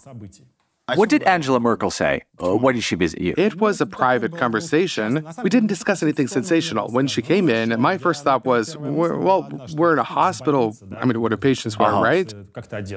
I thought, man, good thing I'm wearing something. Oh. she said, like, oh, well, we talked. And again, it was a very private conversation without delving into any details. Nothing of importance came up, really. It wasn't a political conversation. I was uh, just surprised by how detailed her understanding of current events in Russia was. So, I mean, normally y- you meet a foreign politician and go, let me tell you what's really going on in Russia, because they live in an ivory tower. But she knew current Russian events better than anyone, down to every detail about Khabarovsk, about Belarus, down to every detail with full context, knows how things work. And in Russian too. Merkel walked in and started to talk in Russian, and it honestly caught me like. How well, though? Did you say Здравствуйте? We switched to English, but I felt that she could have had a conversation with me in Russian the whole way through. Whoa. Yeah. Like talking to this person, you realize why they're one of the European leaders. She's a very, well, she's a She's a really smart and forward thinking woman, but it was just a really private conversation. We didn't discuss anything momentous. Were you flattered by her visit? Well, it was a pleasant surprise, certainly. Did it bother you No. that propaganda could now go, um, that's it? Navalny's master I don't know visits him in the hospital. Putin meets with Angela Merkel, doesn't he? Well, And I mean, he's the president. they're on the same level. They, they're equals. Our Minister of Foreign Affairs meets with her, doesn't he? Uh, even mid level officials meet with her at summits and things like that. I just don't mean it like I'm the second politician in the country, but I'm probably one of one of the key figures of Russian political opposition. So I don't think that there's anything wrong with me meeting with a foreign leader to discuss Russian or international affairs. I can discuss them as well as Putin can. I don't see any problem with that at all. Question about Dasha Navalny. Did she tell you that she wanted to go to college in the US, or was it your idea? I think the beginning initially, Alexei always said, What difference does the school make? And at some point, I pulled him into this Moscow circle of parents uh, uh, who are always looking for a better school. So we were always striving to find something better. Some so even we, moved closer to those schools, I heard. Well, it didn't. It didn't come to didn't it, that, but Really? we ended up becoming such parents. So we are obsessed with education. It always seems to us that our children don't visit enough school circles. Poor children. So we wanted a better education for our child. We knew that she uh, knew English well. She was preparing for it. It was very difficult, but it wasn't about whether she should go uh, somewhere to study or stay and study in Russia. We wanted the education she would get to be great. I, I swayed between the two extremes, really, from who cares what school you go to, I guess. Because I grew up in a closed little town that only had one school, and I couldn't wrap my head around the idea of choosing a school all the way to being somewhat obsessed with education. So it's not like we told her to pick an American or, German or Russian college. We said, here are the top universities. We, as a family, would like you to get into one of the ones at the top, the higher oh, I the get it. So you was get. it that level? Well, yeah, I mean, so we uh, want you to get a good. We, well, I mean, we, we want you to have a good education. So let's get you prepped in the next two years. Get you. Uh, get you some tutors and classes, and the higher you can get on the list, the better. She applied to several universities and ended up getting into one of the best. If this university had been located in Hong Kong or Torzhok or, or Tomsk, she would be studying in Tomsk today. But oh well, unfortunately, Russia is pretty low on the list. You only pay for her dorm, right? Yes, dorm and food. Which is about $2,000 a month. Twenty-two thousand dollars a year, I think. I think. yeah. Twenty-two or twenty-four No, a bit less, 22, 20,000. Uh, why is tuition itself free?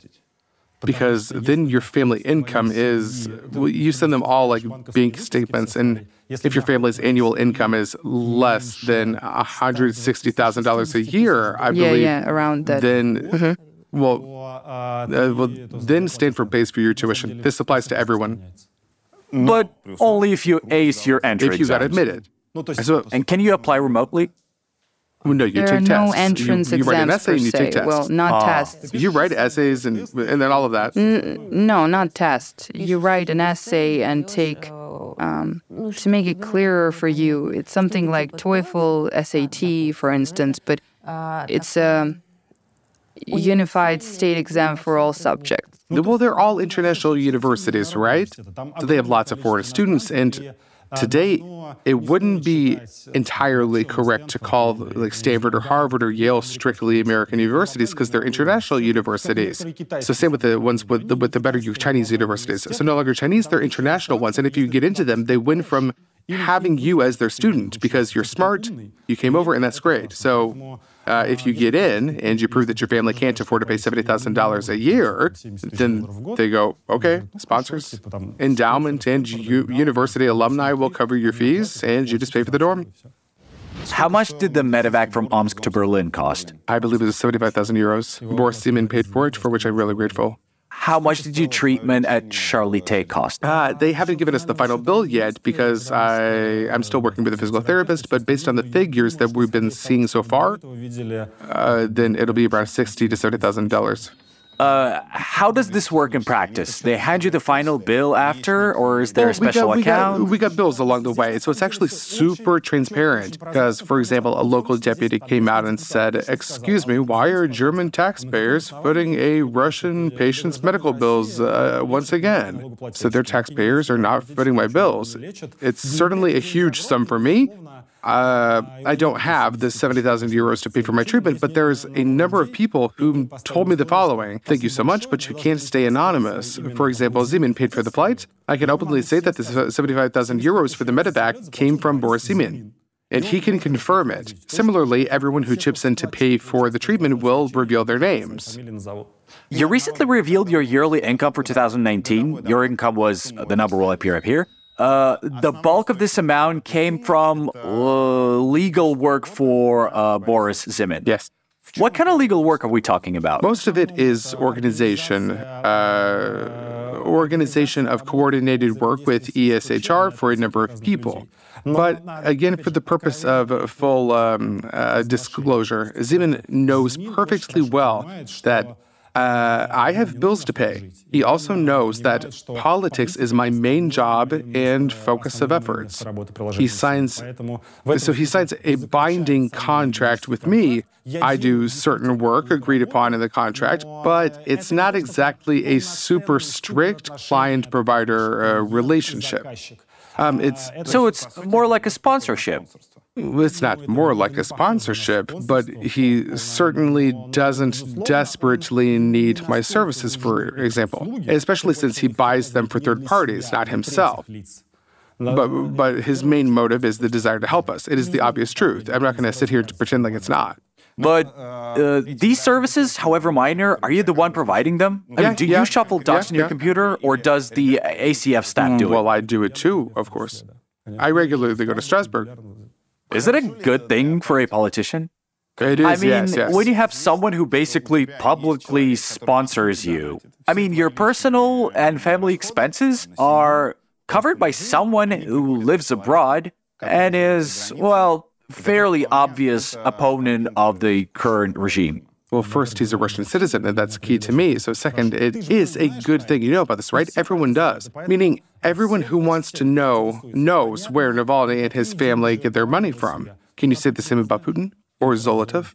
You don't even know for certain what Putin's daughters' names are, an official confirmation of this or what they do. It's never been said officially. You know, that's uh, unacceptable. Here you have a specific person who is a Russian citizen. Everyone knows how much they pay me, and I get all of the money legally.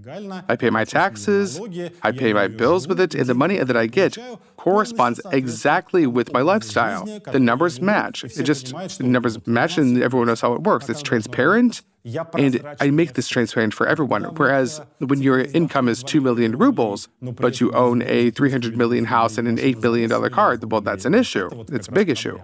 Are you somehow indebted to Boris Zimin for it? I'm really grateful for his help. He hired the plane, paid 70,000 euros, a huge sum, but he didn't have to. If he if he didn't, then even storming the hospital in Omsk wouldn't have done jack. I don't have to do anything for him, like special investigations or something like that. We have a crystal clear understanding on this. He knows nothing about our current projects. I love chatting with him. He visited me in the hospital as well, and he's uh, he's a very smart and interesting person, but it's not the type of relationship where he knows more about ACF's work than you do. He, just like you, sometimes checks YouTube and sees that we posted a new investigation. Okay, what if one day he asks you about something? I don't know. For example, um, Alexei, please don't say a word about Khabarovsk rallies. Uh, well, if, Not a well, word. if I believed that something like this could happen, then I would have never taken a penny from him at all. But if something like this does happen, Something happens to him. well, he He's not perfect- himself. He knows perfectly well that I will say sorry, but no. They blocked your son's card uh, with his laptop fund when he didn't come up to you and go like, "Dad." Well, I mean, No, he did come up to, to us, and knowing the whole situation that everyone's accounts have been blocked, he said, "Okay, let's see how much cash I have. I, am resetting the And he had an He says, envelope. "No more cards, though, please. Only cash." okay, but what does your everyday life look like when your bank account says negative 70 million? I currently have a minus $5 million on my card. Why? because all my accounts are also blocked, and I had several accounts, so they put this notorious arrest on each one. Was it 99 million? Oh, 75 million or something. Well, the amount is around a million. And since uh, there were several accounts, they just put it on each one. And when I uh, last asked for Minus a 70, bank minus 70. uh, they gave me minus five million uh, dollars. Concerning Stanford. So, uh, Yes, it was the card year for we need to prove that our annual income is l- uh, is less than X, right? We got our statements. And we also sent a cover letter because we were sending paperwork to the university that said that we had minus several million dollars each. And they might have thought that we were trying to lie to them or just joking. So we sent a cover letter explaining how that this is even possible. Does it weigh on you? No. I'm sorry, how can it not weigh on you? I don't know. Well, I like what Alexei is doing. No, no, no. I got it. I got it. I- I There's just- chemistry between you. I mean, being explain. I- millions in the negative. Well, the chemistry, you know, it's more about the fact that you perfectly realize the costs of all this. And it just turns out that way, you can't do anything about it. We can't do anything now, even if, as you say, Alexei says, you know, my deadline is up tomorrow. I'm not doing politics anymore. Please lift all the arrests. They won't lift them anyway, so it shouldn't weigh on you. They want it to weigh on us. Well, besides, it's all relative. Um, well, negative uh, 75 million is unpleasant. Even before this whole coma situation, we didn't really know how it was. But the brilliant green incident, the constant surveillance on her in Dasha, like, uh, well, I mean, you know, that the money situation it is upsetting seriously because not having a bank account in the modern world is tough, but it's still uh, really nothing compared to other things happening. During the you know? protests in 2011, they were even following me to school. I mean, in the morning, no, they didn't follow me in the morning. Apparently, it was too early. When I was coming back from school, they always followed me, and I was terribly annoyed, thinking, oh my God, they're coming anyway. They could just pick up Dasha and bring her to me. But I, I mean, uh, well, it's all was. relative. Soon after our 2017 interview, they threw brilliant green in your face, and your eyes was in really bad shape. You didn't have a foreign passport back then, uh, but you had to go abroad to treat your eyes, so they issued one. I could only get the right type of surgery abroad, so they didn't do it here in Russia. They issued a passport for you. Yes. Why do you think they did it? So because for years they had been denying me one illegally, and I even don't have an ECHR yes. ruling. Then they suddenly changed their mind. Why do you uh, think they did it? Because they had organized the attack, realized that they overdid it, and saw the uproar after.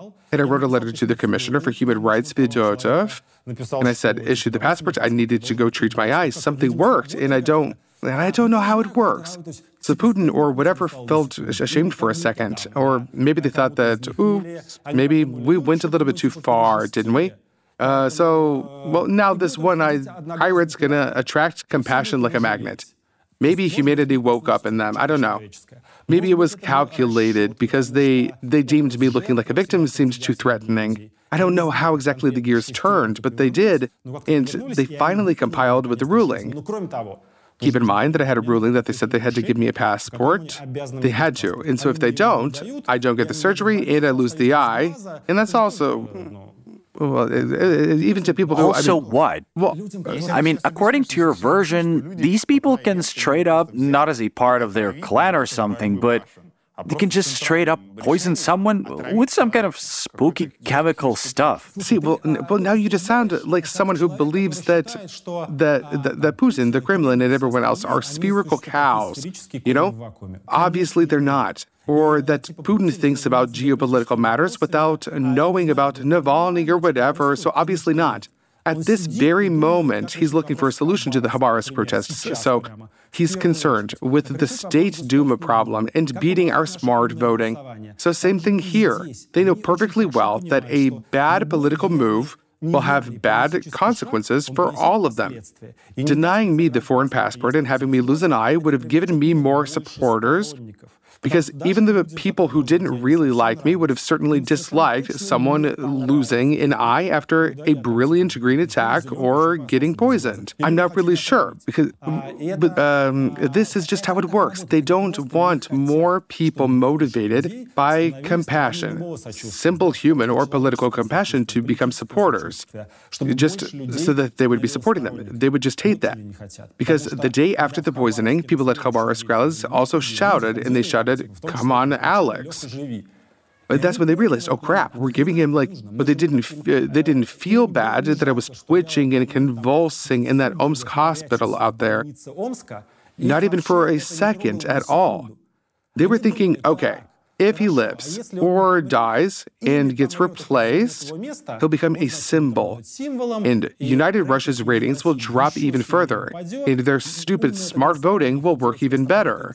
And that was their reasoning. And it's smart reasoning, really, because they don't want us to evoke more sympathy, because any person, even one thoroughly brainwashed by propaganda, can they can still tell the difference between good and evil. They've been in the hospital. They know how things work. No one really likes the idea of people suddenly just dropping down and dying uh, two hours later. Even people who hate me and fully support Putin, they realize you know, what the hell? It's it's him today, someone else tomorrow, the day after. They'll just well, imagine it spirals out of control. If you're right, and there's some sort of there's some sort of like tower war, then it then it's much worse, much worse. If many different people have access to chemical weapons and teams that know how to kill them with them, then it, this is well, this is you know really really bad. Have you two ever had the discussion that maybe you should stop what you're doing? No. Never? No. Even in the heart of the moment, during, I don't know, yet another search, or because of Zakhar's frozen account with his uh, laptop savings. Uh-huh. I probably have nothing more extensive to answer you because uh, everyone always wants to hear from me or receive some hint that yes, I would like to stop. But no, I absolutely support what Alexei is doing. I'm absolutely sincere saying it. Um, it's not a, just a beautiful phrase, and quitting halfway at some point is not good, I think. It's not. What is the secret source of your patience? I don't know. Well, you criticized me for being radical. I wish that you'd heard Yuli talking about politics. You would have realized that I'm no, very moderate. you shouldn't have said that. Even three years ago, Alexei said that you were um, more radical than him on some matters. Well, in what specific issues am I more radical than well, you are? Towards certain people and certain, like, it's, well, it's hard for me for me to not even rebuke, not get Yuli's position because I chose this path and I'm and I'm following it. But uh, you'll probably discuss this in a bit without me. But but hearing uh, these stories about Omsk, the very idea of having to run around this hospital to get your husband released and and get him out of there, and meeting those united Russians, it would radicalize you because when you face a police officer, well, they're just a cog in the system, right? But when you're not a politician and you encounter the very darkness opposing your family, it probably radicalizes you emotionally. That's my understanding. How would you describe your stance on the um, constitutional amendments vote? I don't recognize it. I, never got it. Well, it's very simple. I don't recognize it. It was obviously fabricated beforehand, and I just simply don't recognize it. I, I knew they were going to pass it. A lot of people don't recognize it. You can vote against or not vote at all, and I personally didn't. Some of the ACF members across the country voted against. But overall, I believe the amendments need to be rolled back. So, wait, uh, your stance, as far as I can tell, as I understood it from your debate with Katz and stuff, was uh, vote against if you want to vote. If you don't, don't go, because it's a sham. Don't vote in favor. Like course, that? absolutely. Uh, why did you pick this line? Do you feel that maybe there was this rare moment when even Putin's supporters were floored by the Kremlin's nerve, that they came up with this reset? Do you feel like this was a moment where you could have caused a record protest vote by telling everyone to just uh, go and vote against? I mean, not just your hardcore supporters. All right, but also those who were either undecided or or didn't support anyone, literally, but thought this was too much. Uh, no, I didn't feel like that. Yes. I, I don't exist in a vacuum, right? We have a team. We have a lot of people here during campaigns. I'm the person going from city to city and talking to crowds. But there are hundreds and hundreds and thousands of people behind me who also work in between elections and take part in decision making. So, therefore, we gauged the situation and concluded that Putin intentionally didn't hold a referendum because he would have lost it. He would have just lost it. Had it been a referendum, I would have been running around stirring everyone to go. That way, they would have voted. Oh, what's the difference? The difference is that they voided the turnout. They voided the election procedure. They ran as a vote. They passed the new constitution before the vote even happened. They did everything to curb the very possibility of such a public outburst. You know, like when people came about. Wait a minute, I don't get it. I saw the ballots. They said Yeah. in favor and against, or yes or no. I don't remember. Well, did you read the text above yes and no? Was it written referendum or anything No, like it- that? it was just It said all Russian vote. What difference does it make if you tell everyone to go and tick the the no box, basically? Yeah, and as you tick your no box, some gentleman over there ticks 23 yeses. you have to understand this. So, not all means of political competition are equally effective. Take elections, the atrocious and lamentable elections in Russia. We actively participate in them, and no politician encourages people to vote more than I do. But this all Russian vote specifically was so rigged, even by Russian election standards, that you couldn't do the whole, uh, well, you know, let, let's all go and vote against, and people will see the outcome and come together, which, in my opinion, they confirmed the next day. I think so. Let's go a little westward again Okay. To Belarus. Their protest vote actually did happen. They had their against candidate. Exactly. No, hold on. Uh, they're exactly the same. I mean, they too had a farce of an election. It was a farce because the head of the Central Election Committee is Lukashenko's buddy. They had different candidates, but the general idea was still in favor or against. In favor of Lukashenko or against him, like in favor of Tikhanovskaya. They generated a huge turnover and voted for Tikhanovskaya, got beaten up, and told that no, Lukashenko had won which resulted in a new countrywide political MO. How was the Belarusian presidential election different from the constitutional amendments vote? It was different in every single way. So even the procedure, they had a candidate, they had this consolidation, their candidates were in jail. They had early voting too, of course, of course. Yeah, they No had the early voting. Thirty percent voted early, correct. So your understanding is a little bit distorted by the fact that it all resulted in the incredible Belarusian miracle of three women. It's a unique situation. It's never, ever happened before. So, for 26 years, Lukashenko ran his sham and even did referendums. This never happened before. So, now that the Belarusian miracle has happened, we're trying to extrapolate it on Russian events right now. But it did happen. you can't do it here. No, no, I, I didn't mean the Belarusian miracle. I meant their example. They tried. They tried. What do we do? We won't register you yet again. You immediately go, don't vote. No. Evgeny No. Roizman, whom I give props Uh, for uh, many things, regularly tweets stuff like, yes, this is a farce, or, or piss off. To those who uh, encourage to, Well, he uses "You other cheap words." bastards. He uses other words. I'm not going to quote him exactly. I mean, I love his quotes, but there. And they won't register you. You go, don't vote. It's a farce. As the last president of Ukraine said, just stop. First off, we don't say that. They won't let us run. They won't register our party. We came up with the smart voting as a way of participating when they will not let us. We participate all the time. However, out of all of the elections on this particular constitutional vote, my main idea was to not recognize it in all for a rollback to the vote. We didn't recognize it. So what? Well, man, well, well when, then you could also say, okay, Tikhanovskaya ran, and what? The people saw that they'd been robbed. People who never even cared about politics So now see it I'm- clear as a day, literally. The people, uh, maybe I'm just glamorizing Okay, it. so I'm Yuri Dud, you're Alexei Navalny. Now I'm going to say, so what? So everything that you just said, my response is, so what?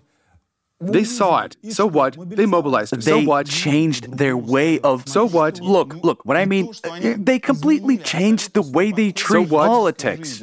It means that even if they cannot overthrow the dictator now, they'll treat their country's politics differently in the future. Yuri, I think that's the whole point of your smart voting thing. You're Of course it training people to vote. You're teaching them the simple relation. Potholes near your house won't get patched if politicians don't get involved. You choose the politicians because cause and effect relationship. You're hammering it with your smart voting, which we'll come back to later because it's driving me nuts. You've mentioned it so many times. Because nothing else is more important. Eh, eh, uh, see, you're laughing because you don't understand it. I'll explain it. Uh, anyway, cause and effect.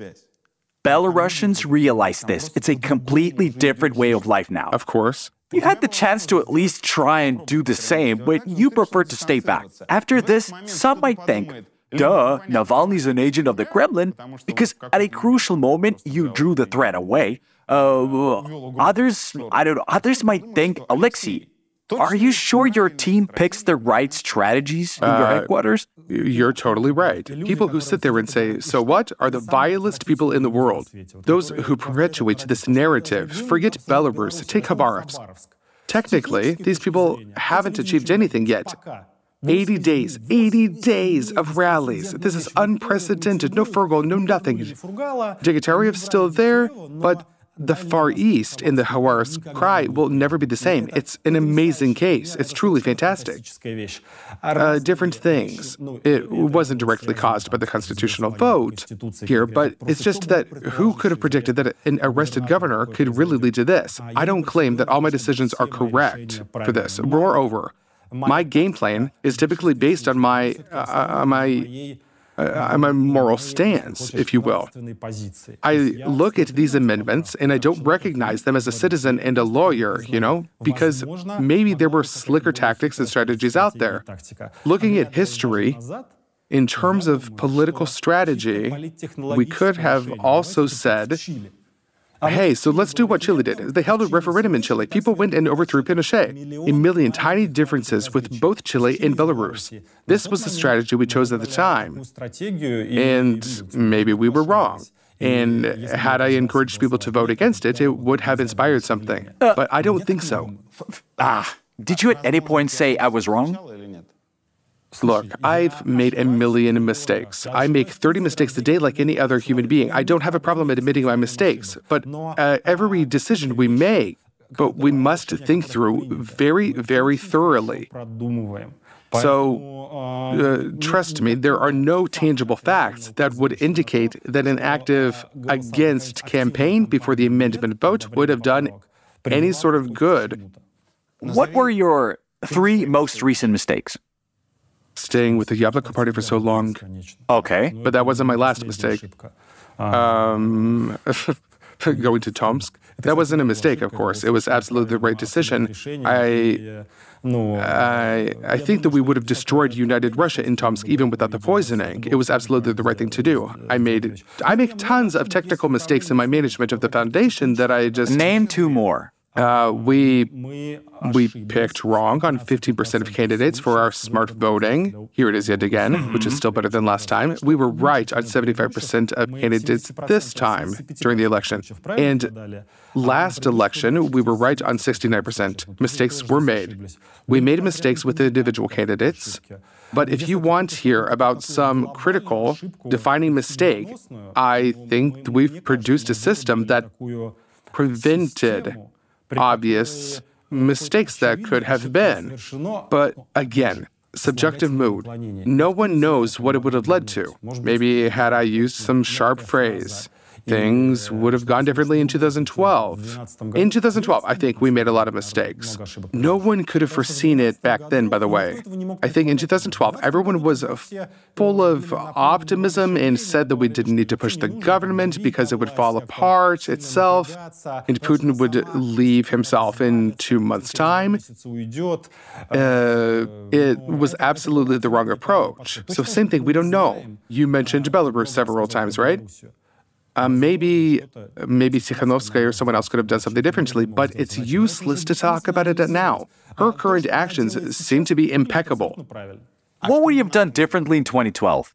In 2012, we should have confirmed after the first reality. Sure, the authorities didn't flinch, and I'm not even Storm talking the about Kremlin. Bolotnaya. We should have continued Storm just the storm the Kremlin. Storm the Kremlin. Storm the Kremlin is a figurative phrase. Go go free everyone. So go to the detention center and make them release absolutely everyone and keep the rally going. So just not spook them once and then expect that they got so spooked that they can't pull it together and regroup. Keep pushing instead. And I think that it could have worked in 2012, but What's the point of talking about this? There's no point in reliving 2012 time and time again and lamenting, oh, we should have gone to the Revolution Square, not Bolotna. It's all completely useless now. I never suggested it. No, but I was just- talking about the amendments. As just the, the amendments, uh, I am positive that their decision making looked a little bit like this. They sat down and said, once we announce the constitutional amendments, they will obviously campaign to vote against. So, we need to do a number of things in advance to void both the old constitution and the campaign against the amendments, so it won't be a referendum at all. The, the vote will have completely different rules, and additionally, the new constitution will be passed in all federal subjects beforehand. They were prepared, so an against campaign would have really done nothing. Can you tell a little about yourself? Your parents often come up in discussion. Mm-hmm. Who are your parents? I'm from Moscow. I was born and raised in Moscow. I graduated from the Plekhanov Academy, majoring in international relations. My mom worked uh, at the Ministry of Light Industry as an ordinary employee, and my dad worked at the Research Institute. But my parents divorced when I was probably in the fifth grade. When I was 18, my dad passed away. They say your dad worked for the KGB. You know, it's a strange story. I understand not the KGB, but the GRU. I've read it, and it's a very strange story. I saw that everywhere they write it's according to Ksenia Sobchak's words. I think it's better to ask her. I can't say that I feel great about Ksenia, but I think she couldn't have made up such a story. You mean Well, because it's a fabricated story, and the circumstances described in that article, which you probably also read, that my dad was the director, or no, not the director, but the GRU general, or something like that. It's just a super fabricated story. who did you work as? I graduated from college, then worked at a bank, and then somewhat quickly met and started dating Alexei. We got married, and I quit my job. Then Dasha was born. Later, I worked a bit. I had a small business, uh, well, for a couple of years. And then it became clear that Alexei was into politics, politics and more politics. And so I focused on the family and left my job. Uh, what kind of business was it? It was, it was, uh, I was helping Alexei's parents who were selling uh, wicker furniture. You're on the same page politically, right? Yeah. What's your beef? I mean, what do you dislike? What don't I like about the yes, country? in modern Russia. I don't like corruption. I don't like um, the power pressing on officials. I don't like what I've seen in the Omsk hospital when I saw that uh, the chief doctor must always be a United Russia deputy. I faced all this directly. He's afraid to say anything extra. His hands trembled and he was shaking because of he's not afraid for the patients. He doesn't care about them. He's afraid of what his bosses will say to him. Those people from the regional administration come and they influence the doctors. It's uh, scary because this administration is much scarier for the doctors than uh, something happening to a patient. This is, of course, a big problem. The current authorities. Instead of urging people to go vote against the amendments, you focused on smart voting. Yes. Explain briefly why you still consider this a good strategy. Because a United one. Russia is the foundation of our current government. Putin rules Russia because he has a political infrastructure through which he controls every city and Uh-huh. every federal subject. It's called the United Russian Party. That's why you need to Break its fight monopoly, yes. it. Yeah. Suppose that every election across the country, United Russia's candidates lose all offices to Liberal Democratic, aka LDPR, and Communist parties. Are you really sure they will make decisions not sanctioned by the um, Russian president? So let's turn east is the way, I believe, and look to the city of Khabarovsk, where they elected an LDPR governor, as well as an LDPR majority to the governments of uh, both the city and the Khabarovsk Krai. And it's certainly a corrupt, Kremlin controlled party, but the system is rigged in such a way that in the absence of monopoly, they at least start to argue and fight amongst themselves, and you get political life. Struggle between the Kremlin towers that don't exist, but struggle between different forces produces political life, making people's lives a little bit better, and then the governments a little bit worse. So, whenever other powers win and dilute the United Russia's monopoly, then it is a positive outcome. So take Moscow City Duma. We helped a lot of communists get in, and all our candidates were banned. But most of these communists are great people. They do really great things. And they don't have the majority in Duma right now, but the current Duma is much, much better than the previous one because we eroded United Russia's monopoly. Does it affect Moscow Mayor Sergei Sobyanin's decisions at the Of Duma's? course it uh, does. They used to own all 45 of the seats. He knew that all 45 would always nod along mindlessly. These days, Sobyanin hates reporting to the deputies because 20% of these deputies now jump up and start giving it to him like he's never had it before. Ever. But does it in any way interrupt the process that Ryder Glukhovsky called happiness enforcement? Uh, of course it does. Of course it does. As I said, the sites authorities, change, the they authorities cancel retiling, and the authorities uh, uh, at least have to react to new sources of pressure. Some sort of like, uh, if, if, the benefit is the pressure. I got. if no it. one nags them about the tiling, th- they will steal 99% of the budget, not 40. Okay, look, smart voting. Here are some of the people that smart voting urged to support. Anatoly Lisitsyn, ex-governor of Yaroslavl Oblast, a faithful member of United Russia until like recently. There are also some reports about his business schemes in Yaroslavl Oblast. I don't know if it's true, but if it is, it's just crazy. So smart voting urged people to vote for him. He was competing against a United Russian, some sort of hockey player. Andrei Kovalenko, Yes. another great person. yeah. Well, it was either Lisitsyn or a pro government candidate, and I don't know about his reasoning, but he decided to fight United Russia. And we helped him, I hoped, and he destroyed this hockey player, I believe, yes? He lost. The hockey player got the seat. Oh, did he? Yeah. Well, damn. Well, see, I guess I've missed uh, a lot during this month, and I, I don't care what Lisitsyn is like. The people that they allow to run these days aren't really great people, unfortunately, because I think it's because they usually don't let ours run. The goal is to destroy United Russia's monopoly. Couldn't it be rigged? Couldn't he have left United Russia to get on the smart voting radar, so to speak, then uh, win the election? Well, well, he didn't, but assuming he did, and then continue with the, I don't know. Well, this happened in Novosibirsk. The communists in United Russia struck a deal in Novosibirsk, which put us through a tough spot because we did good work in Novosibirsk, but it was really tough because we went up against rigged competition. And of course, they can rig it. Lots of things can happen, but that's just par for the course in our situation. Another person that smart My voting supported was, lose? I think he lost 34 to 40. Well, maybe it was, but It was the by-election to the well, Duma, yeah, right? I guess the Duma Yeah. by-election, and I guess it was another hallucination because I thought that Lisitsyn had won. Novosibirsk, Rostislav Antonov. Yeah. Some of his achievements.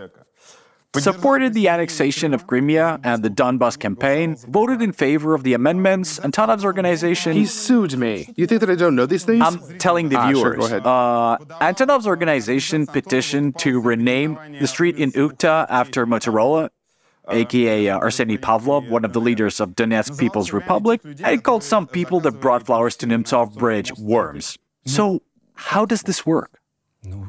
It works like this. There are no super nice folks on election ballots these days. Again, going back to Moscow City Duma, have you seen Sobol, Yashin, Zhdanov, or other ACF members on those ballots? They will not let decent people with a chance to win run ever because they won't allow such nonsense, especially post Belarus and Tikhanovskaya.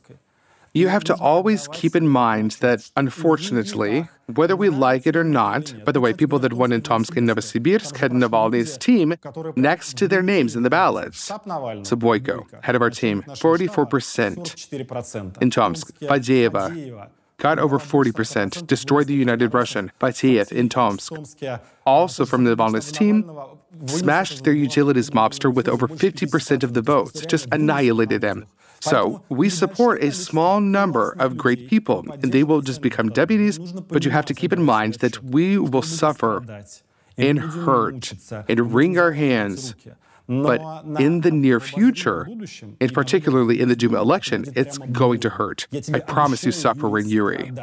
If you decide to vote in the Duma election, which you will, because it's your principled stance, you always vote. Yes. Well, and, and, and yes, you live in the northeast of Moscow, right? Or is it northwest? Southeast. No, it doesn't matter. Yeah. So what, wherever you'll be voting, Putin's strategy goes like this. So Yuri Dud comes in and cries. He soaks the whole ballot with his tears because it is just so bad. That is their strategy. Instead of soaking ballots with tears, we want to try and figure something out. Which of these bad people has a chance to beat the worst one?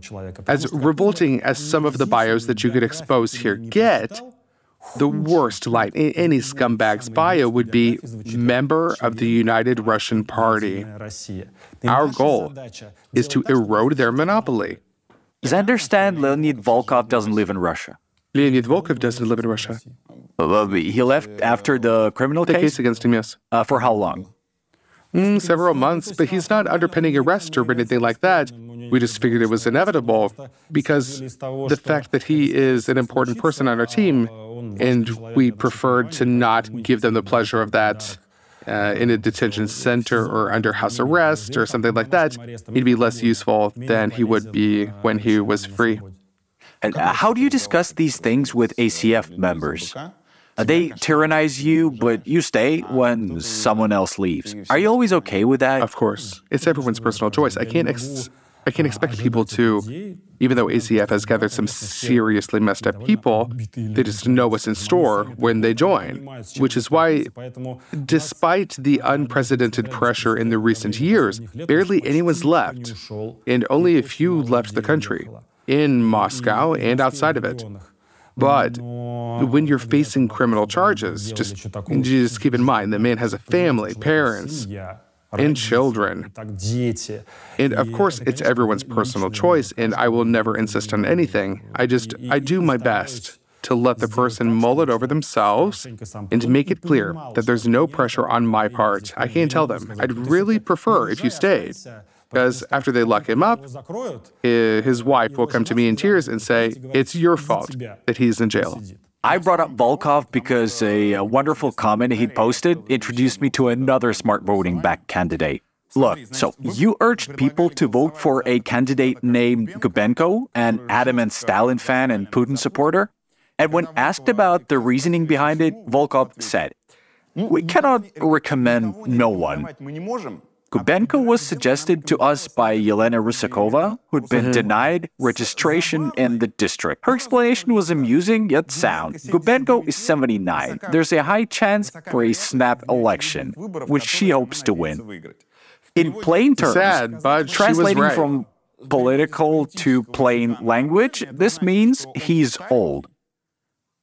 We hope he'll die soon, and there will be a revote. No, well, we didn't say that. Leonid Rusakova Volkov said that, but it, it doesn't matter. Well, Volkov passed it on. Gubenko died this Uh, summer. yeah, I know. Yeah.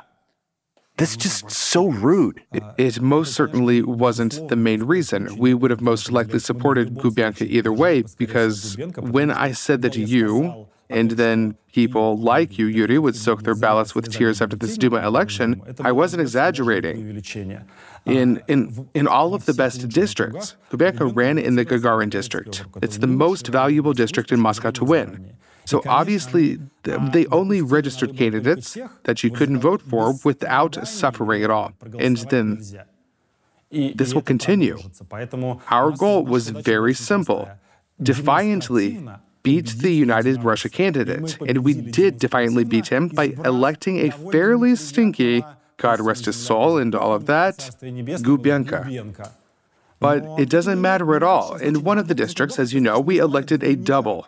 We had a candidate named Solovyov, and they refused him registration, but they sent a double with the last name of Solovyov. We ended up electing him. In, in terms of rhetoric, he was worse than any Gubenko, but who cares? I, He think the United I Russian lost. meant the phrasing. When Volkov Well, says something no, like I think that this was taken out of context. it's a YouTube comment. I have a screenshot. Uh, a Facebook comment, rather. I have a screenshot. Well, uh, it's not something that Leonid I know would say. Did you read the love confession post before it went public, or did he show it to you before posting it to social media? Well, it was more of. I think I wasn't very aware of the depth of the post. More like, of course, I read all your comments. I was uh, more pleased than you liked it so much that um, I think Alexei is such. You'll think he's tough and closed off, that he somehow expresses his emotions. I don't think uh, so. Well, to me, it was like, you know, like my heart was exploding. I can't say. Let's briefly discuss journalists. Can you explain why you react so sharply to everything concerning Tatiana Lisova? Did you at all regret your Facebook confrontation with uh, Ivan Galinov? No. Moreover, it's a principled stance. Lisova was a brilliant journalist. She backslid and became a bad one. Whenever good journalists become bad ones, I was determined to destroy them publicly because you have to do it. You just, you just, you really have to. These people have to be pressured as well.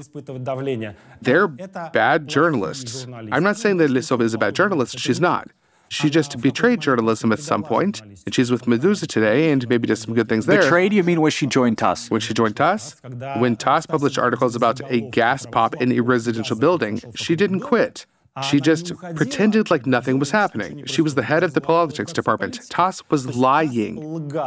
She stayed with the media that lied day after day. I won't forgive the journalists that I like. No one.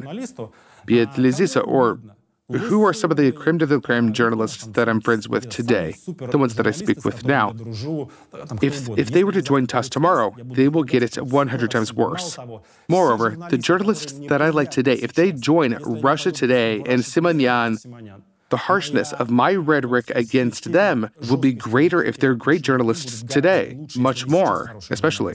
What about your vocabulary? Like um, a little liar or investigative journalists cannot hold a candle to ACF steam? you sure throwing around such language and insults is the Well, I best? don't think that they're insults. It's the honest to goodness truth. Journalists don't hold a candle to ACF's investigators But at all. you see yourself you see yourself as the future president of Russia. Is this really the level of minutia you want to get involved with? Even now, not being the president. It just seems such a triviality to start a fistcuffs over. But you do it anyway. Freedom of media and journalism is definitely not a triviality. Absolutely. It's, a crucial issue, well, but I- practically here. I use individual examples to discuss the entire system. Certainly, one of my downsides, I'm not even arguing. You asked about my mistakes and whether leaders of the opposition backslid. I know this about myself. One of my flaws is that I'm prone to uh, using s- certain epithets that I should use less often or stay away from. I definitely get personal. It's a part of my political strategy, I suppose, if you will. Because I got into politics to criticize specific people, among other things, and I got into politics. I fight corruption, not as a phenomenon, but as individual corrupt officials, crooks that I hate. I always call them by their names. It's my principled stance. It obviously means a lot of emotional and personal language, unfortunately, because it's a flaw overall. I admit this, but it's a part of who I am. Your words that caused an outrage were um, they don't know Pushkin in Uzbekistan. Is it the same flaw? I said it was a slip of the tongue. Not Uz, not Uzbekistan, it's Kazakhstan. Uzbekistan. Сейчас, если вы поедете чуть дальше за границы, там, не знаю, в Узбекистан или куда-то еще, в страны СНГ, уже этой целостности, Well, конечно, well, же, совершенно obviously, no one knows who Pushkin was in Uzbekistan. нашей страны внутри России хотя бы. Well, it was a classic slip of the tongue. I said nonsense, certainly. Just a classic, a classic situation. And I, I said something dumb.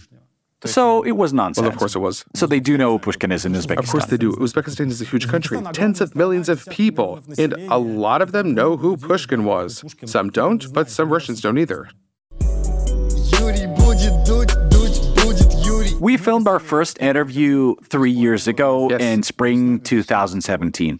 In short, how did Russia change since then? A funny thing, preparing for this interview, I watched the last one and read some questions, and it it went 2017. They threw brilliant green at you. 2020, they threw Novichok at you. There were a lot of funny comments. The best comment was was this one.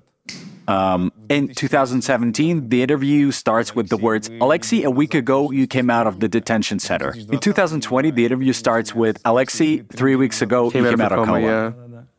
And how has Russia changed? Russia got poorer. Russia sadly regressed. Let's just look at some of the projects that they tried to realize here.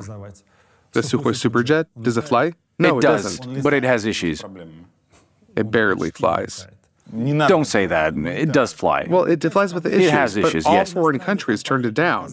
yes. No one buys it except for Aeroflot because they're forced to.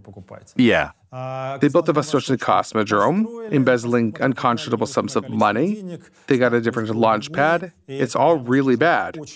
So none of Putin's projects were successful. Russia regressed in everything.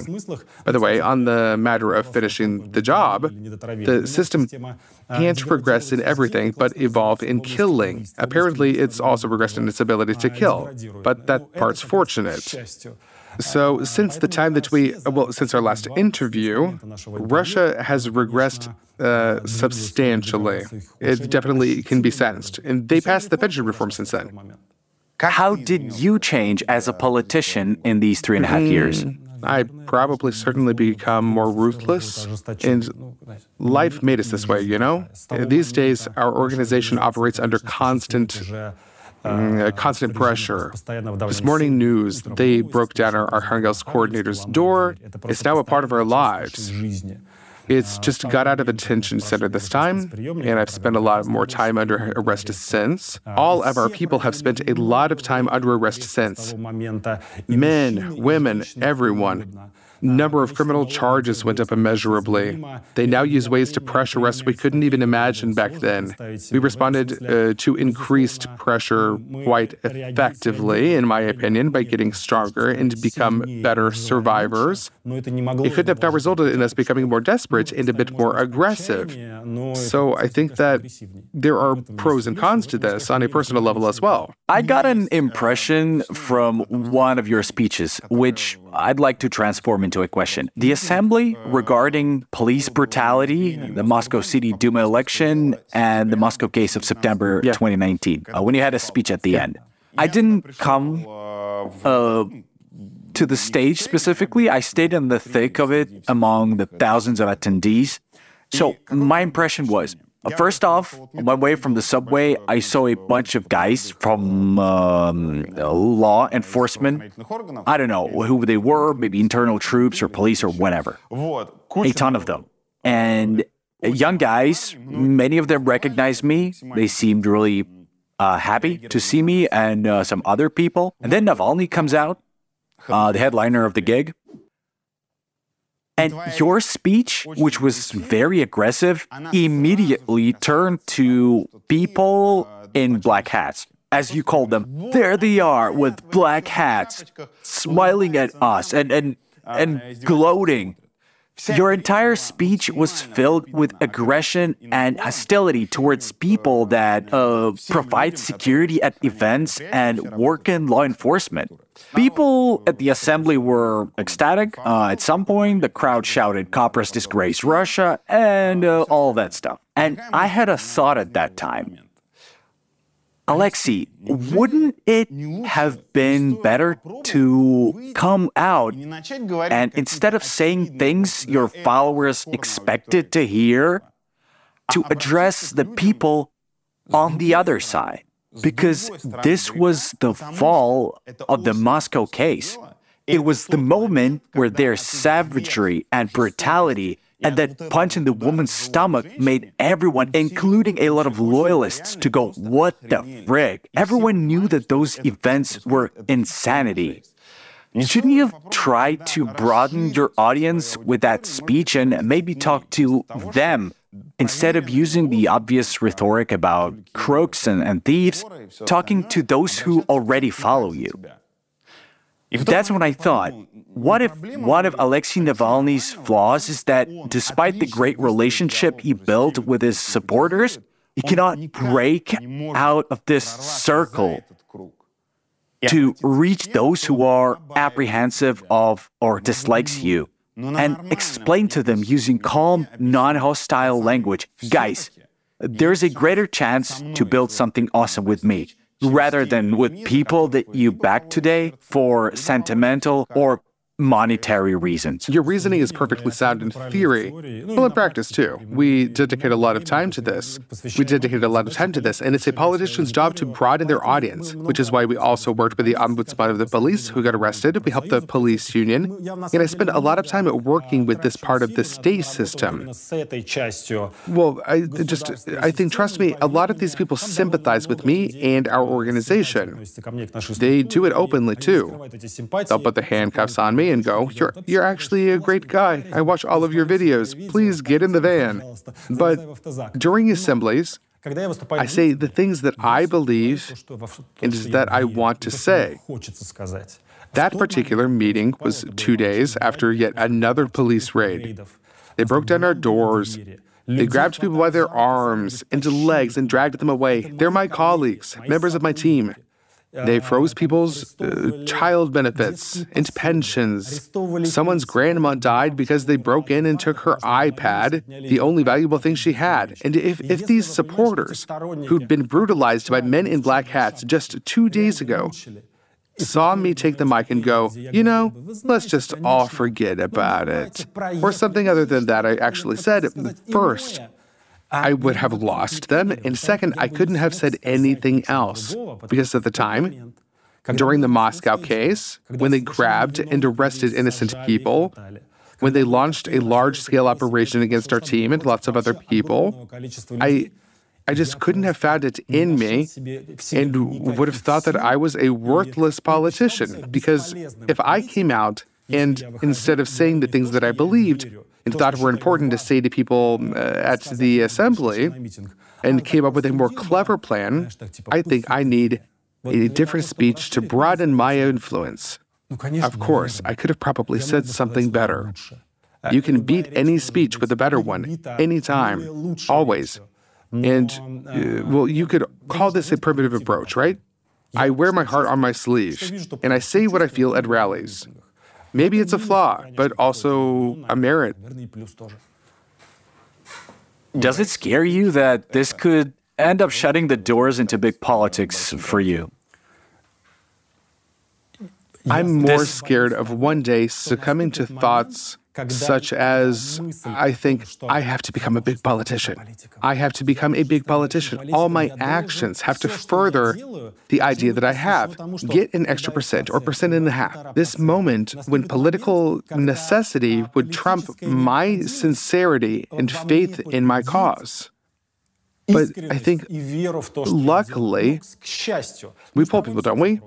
We see that our audience is growing. Our candidates in Tomsk annihilated the United Russian, particularly because of our aggressiveness. We did an investigation that showed that these crooks and thieves have robbed the people of Tomsk. People of Tomsk went holy moly and gave our candidate 50% of the votes. It works. Polls show that our organization's ratings and mine are rising. Isn't politics about being crafty? Not for me. Russian politics is in general isn't about craftiness. What are your plans? Uh, recover. No one knows it fully, then I'm coming back. Uh, how long are you gonna stay in Germany? I don't know. The doctors say I ask them, when will my hands stop shaking and I can go back to a normal life? Uh, to which they say, you know, Alexei, there's not a lot of applicable experience here, so we'll watch you and then we'll know how long it takes. It may take three weeks or two months, but, but So it could be two weeks or or a year.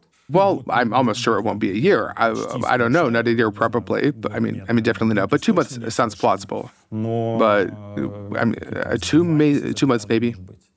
Uh, what could make you not come back to Russia? That's not an option.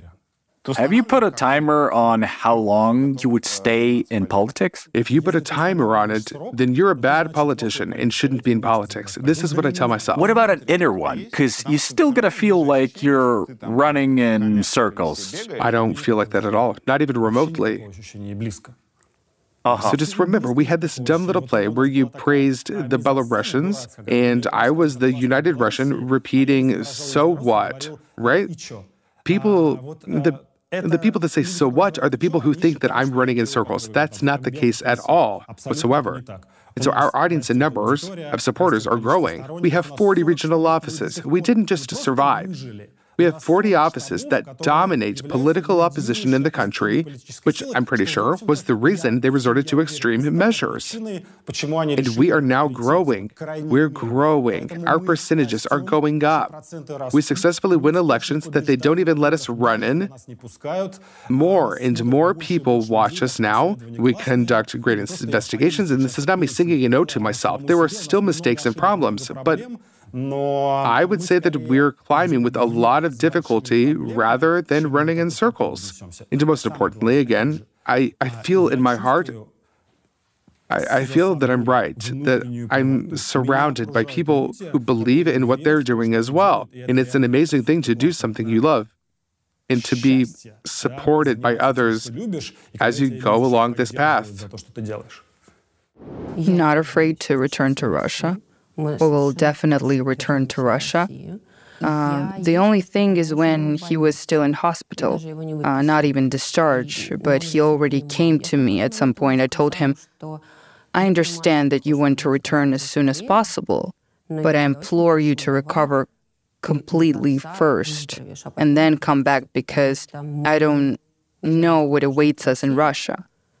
And if you come back not fully recovered, perhaps uh, the second time they won't be able to save you. And I think uh, he heard me. So for me, uh, honestly, such a question has never arisen. He's a person who is so passionate, uh, enthusiastic, and uh, doing a great job, genuinely trying to make the world better, genuinely trying to make the country better. Maybe it sounds too beautiful, yes, but that's uh, the truth.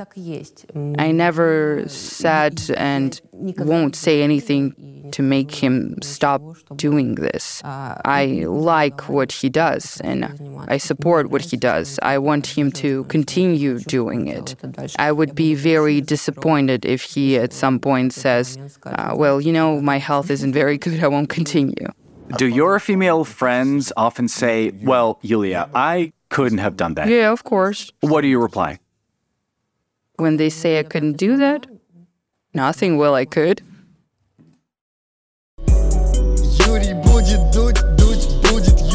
Flash quiz. How old will you be in 2036? Uh, my cognitive abilities have recovered, but not enough to make this trivial. Uh, no matter how old I am, if you're asking whether I will run for office, I will fight for political leadership in 2036. But how old am I going to be? Let's calculate. It was just an age question. Uh, I'm 44 now, so I'll be 60. How old were you in 1999? What are these devilish questions? I will struggle with questions like that, I'm sure. In 1999, 20 years ago, I was 24. And lastly, where in his strength? Strength is definitely in truth. Sorry for the banality, it's in truth and confidence. Contest. What's our prize for uh, for today? Um, I would love to give away the proverbial bottle, but unfortunately, it's going to lab after lab all over the world. So, first, we'll give away a different bottle. Last time, I gave away a bottle of uh, Kagor wine from Medvedev's vineyard, uh, from Medvedev's Russian vineyard, and we're taking it up a notch this time. This time, it'll be a bottle of wine from Medvedev's vineyard in Tuscany. You've uh, kept one since then? or do you continue? Oh, oh, you're probably Dmitry clients now. Medvedev hasn't gotten any poorer. Italy hasn't run out of grapes, so they will still make wine. All right, wine? Wine, and as I said today, I started to learn to juggle tennis balls with my physical therapist. So I will side one of these tennis balls, and it will be our second prize. Wonderful. As always, the contest is very simple. Um, while you were in the coma, you were nominated for a Nobel Prize. Uh, you were I think that, that was a joke. both you and Putin were Well, that was suggested definitely as. a joke. Uh, what was your reaction when you saw Navalny and Nobel Prize in the same uh, sentence? Well, as I said, that I went through a lengthy drug trip, so when I read it, I thought, hmm, the Japanese professor should be here soon. Krovostok will stand over there, and some other folks that I met in the last few days right over that way. Anyway, uh, you need to reply to the pinned post under this video with uh, your suggestions of a worthy Nobel Peace Prize candidate from your country. Someone more deserving of it than Putin or Navalny, in your opinion. Leave the person's name and briefly explain why. The most interesting suggestion, be it funny, as in a joke, or just cool and unexpected, will win these prizes. Thank you so much. Thank you.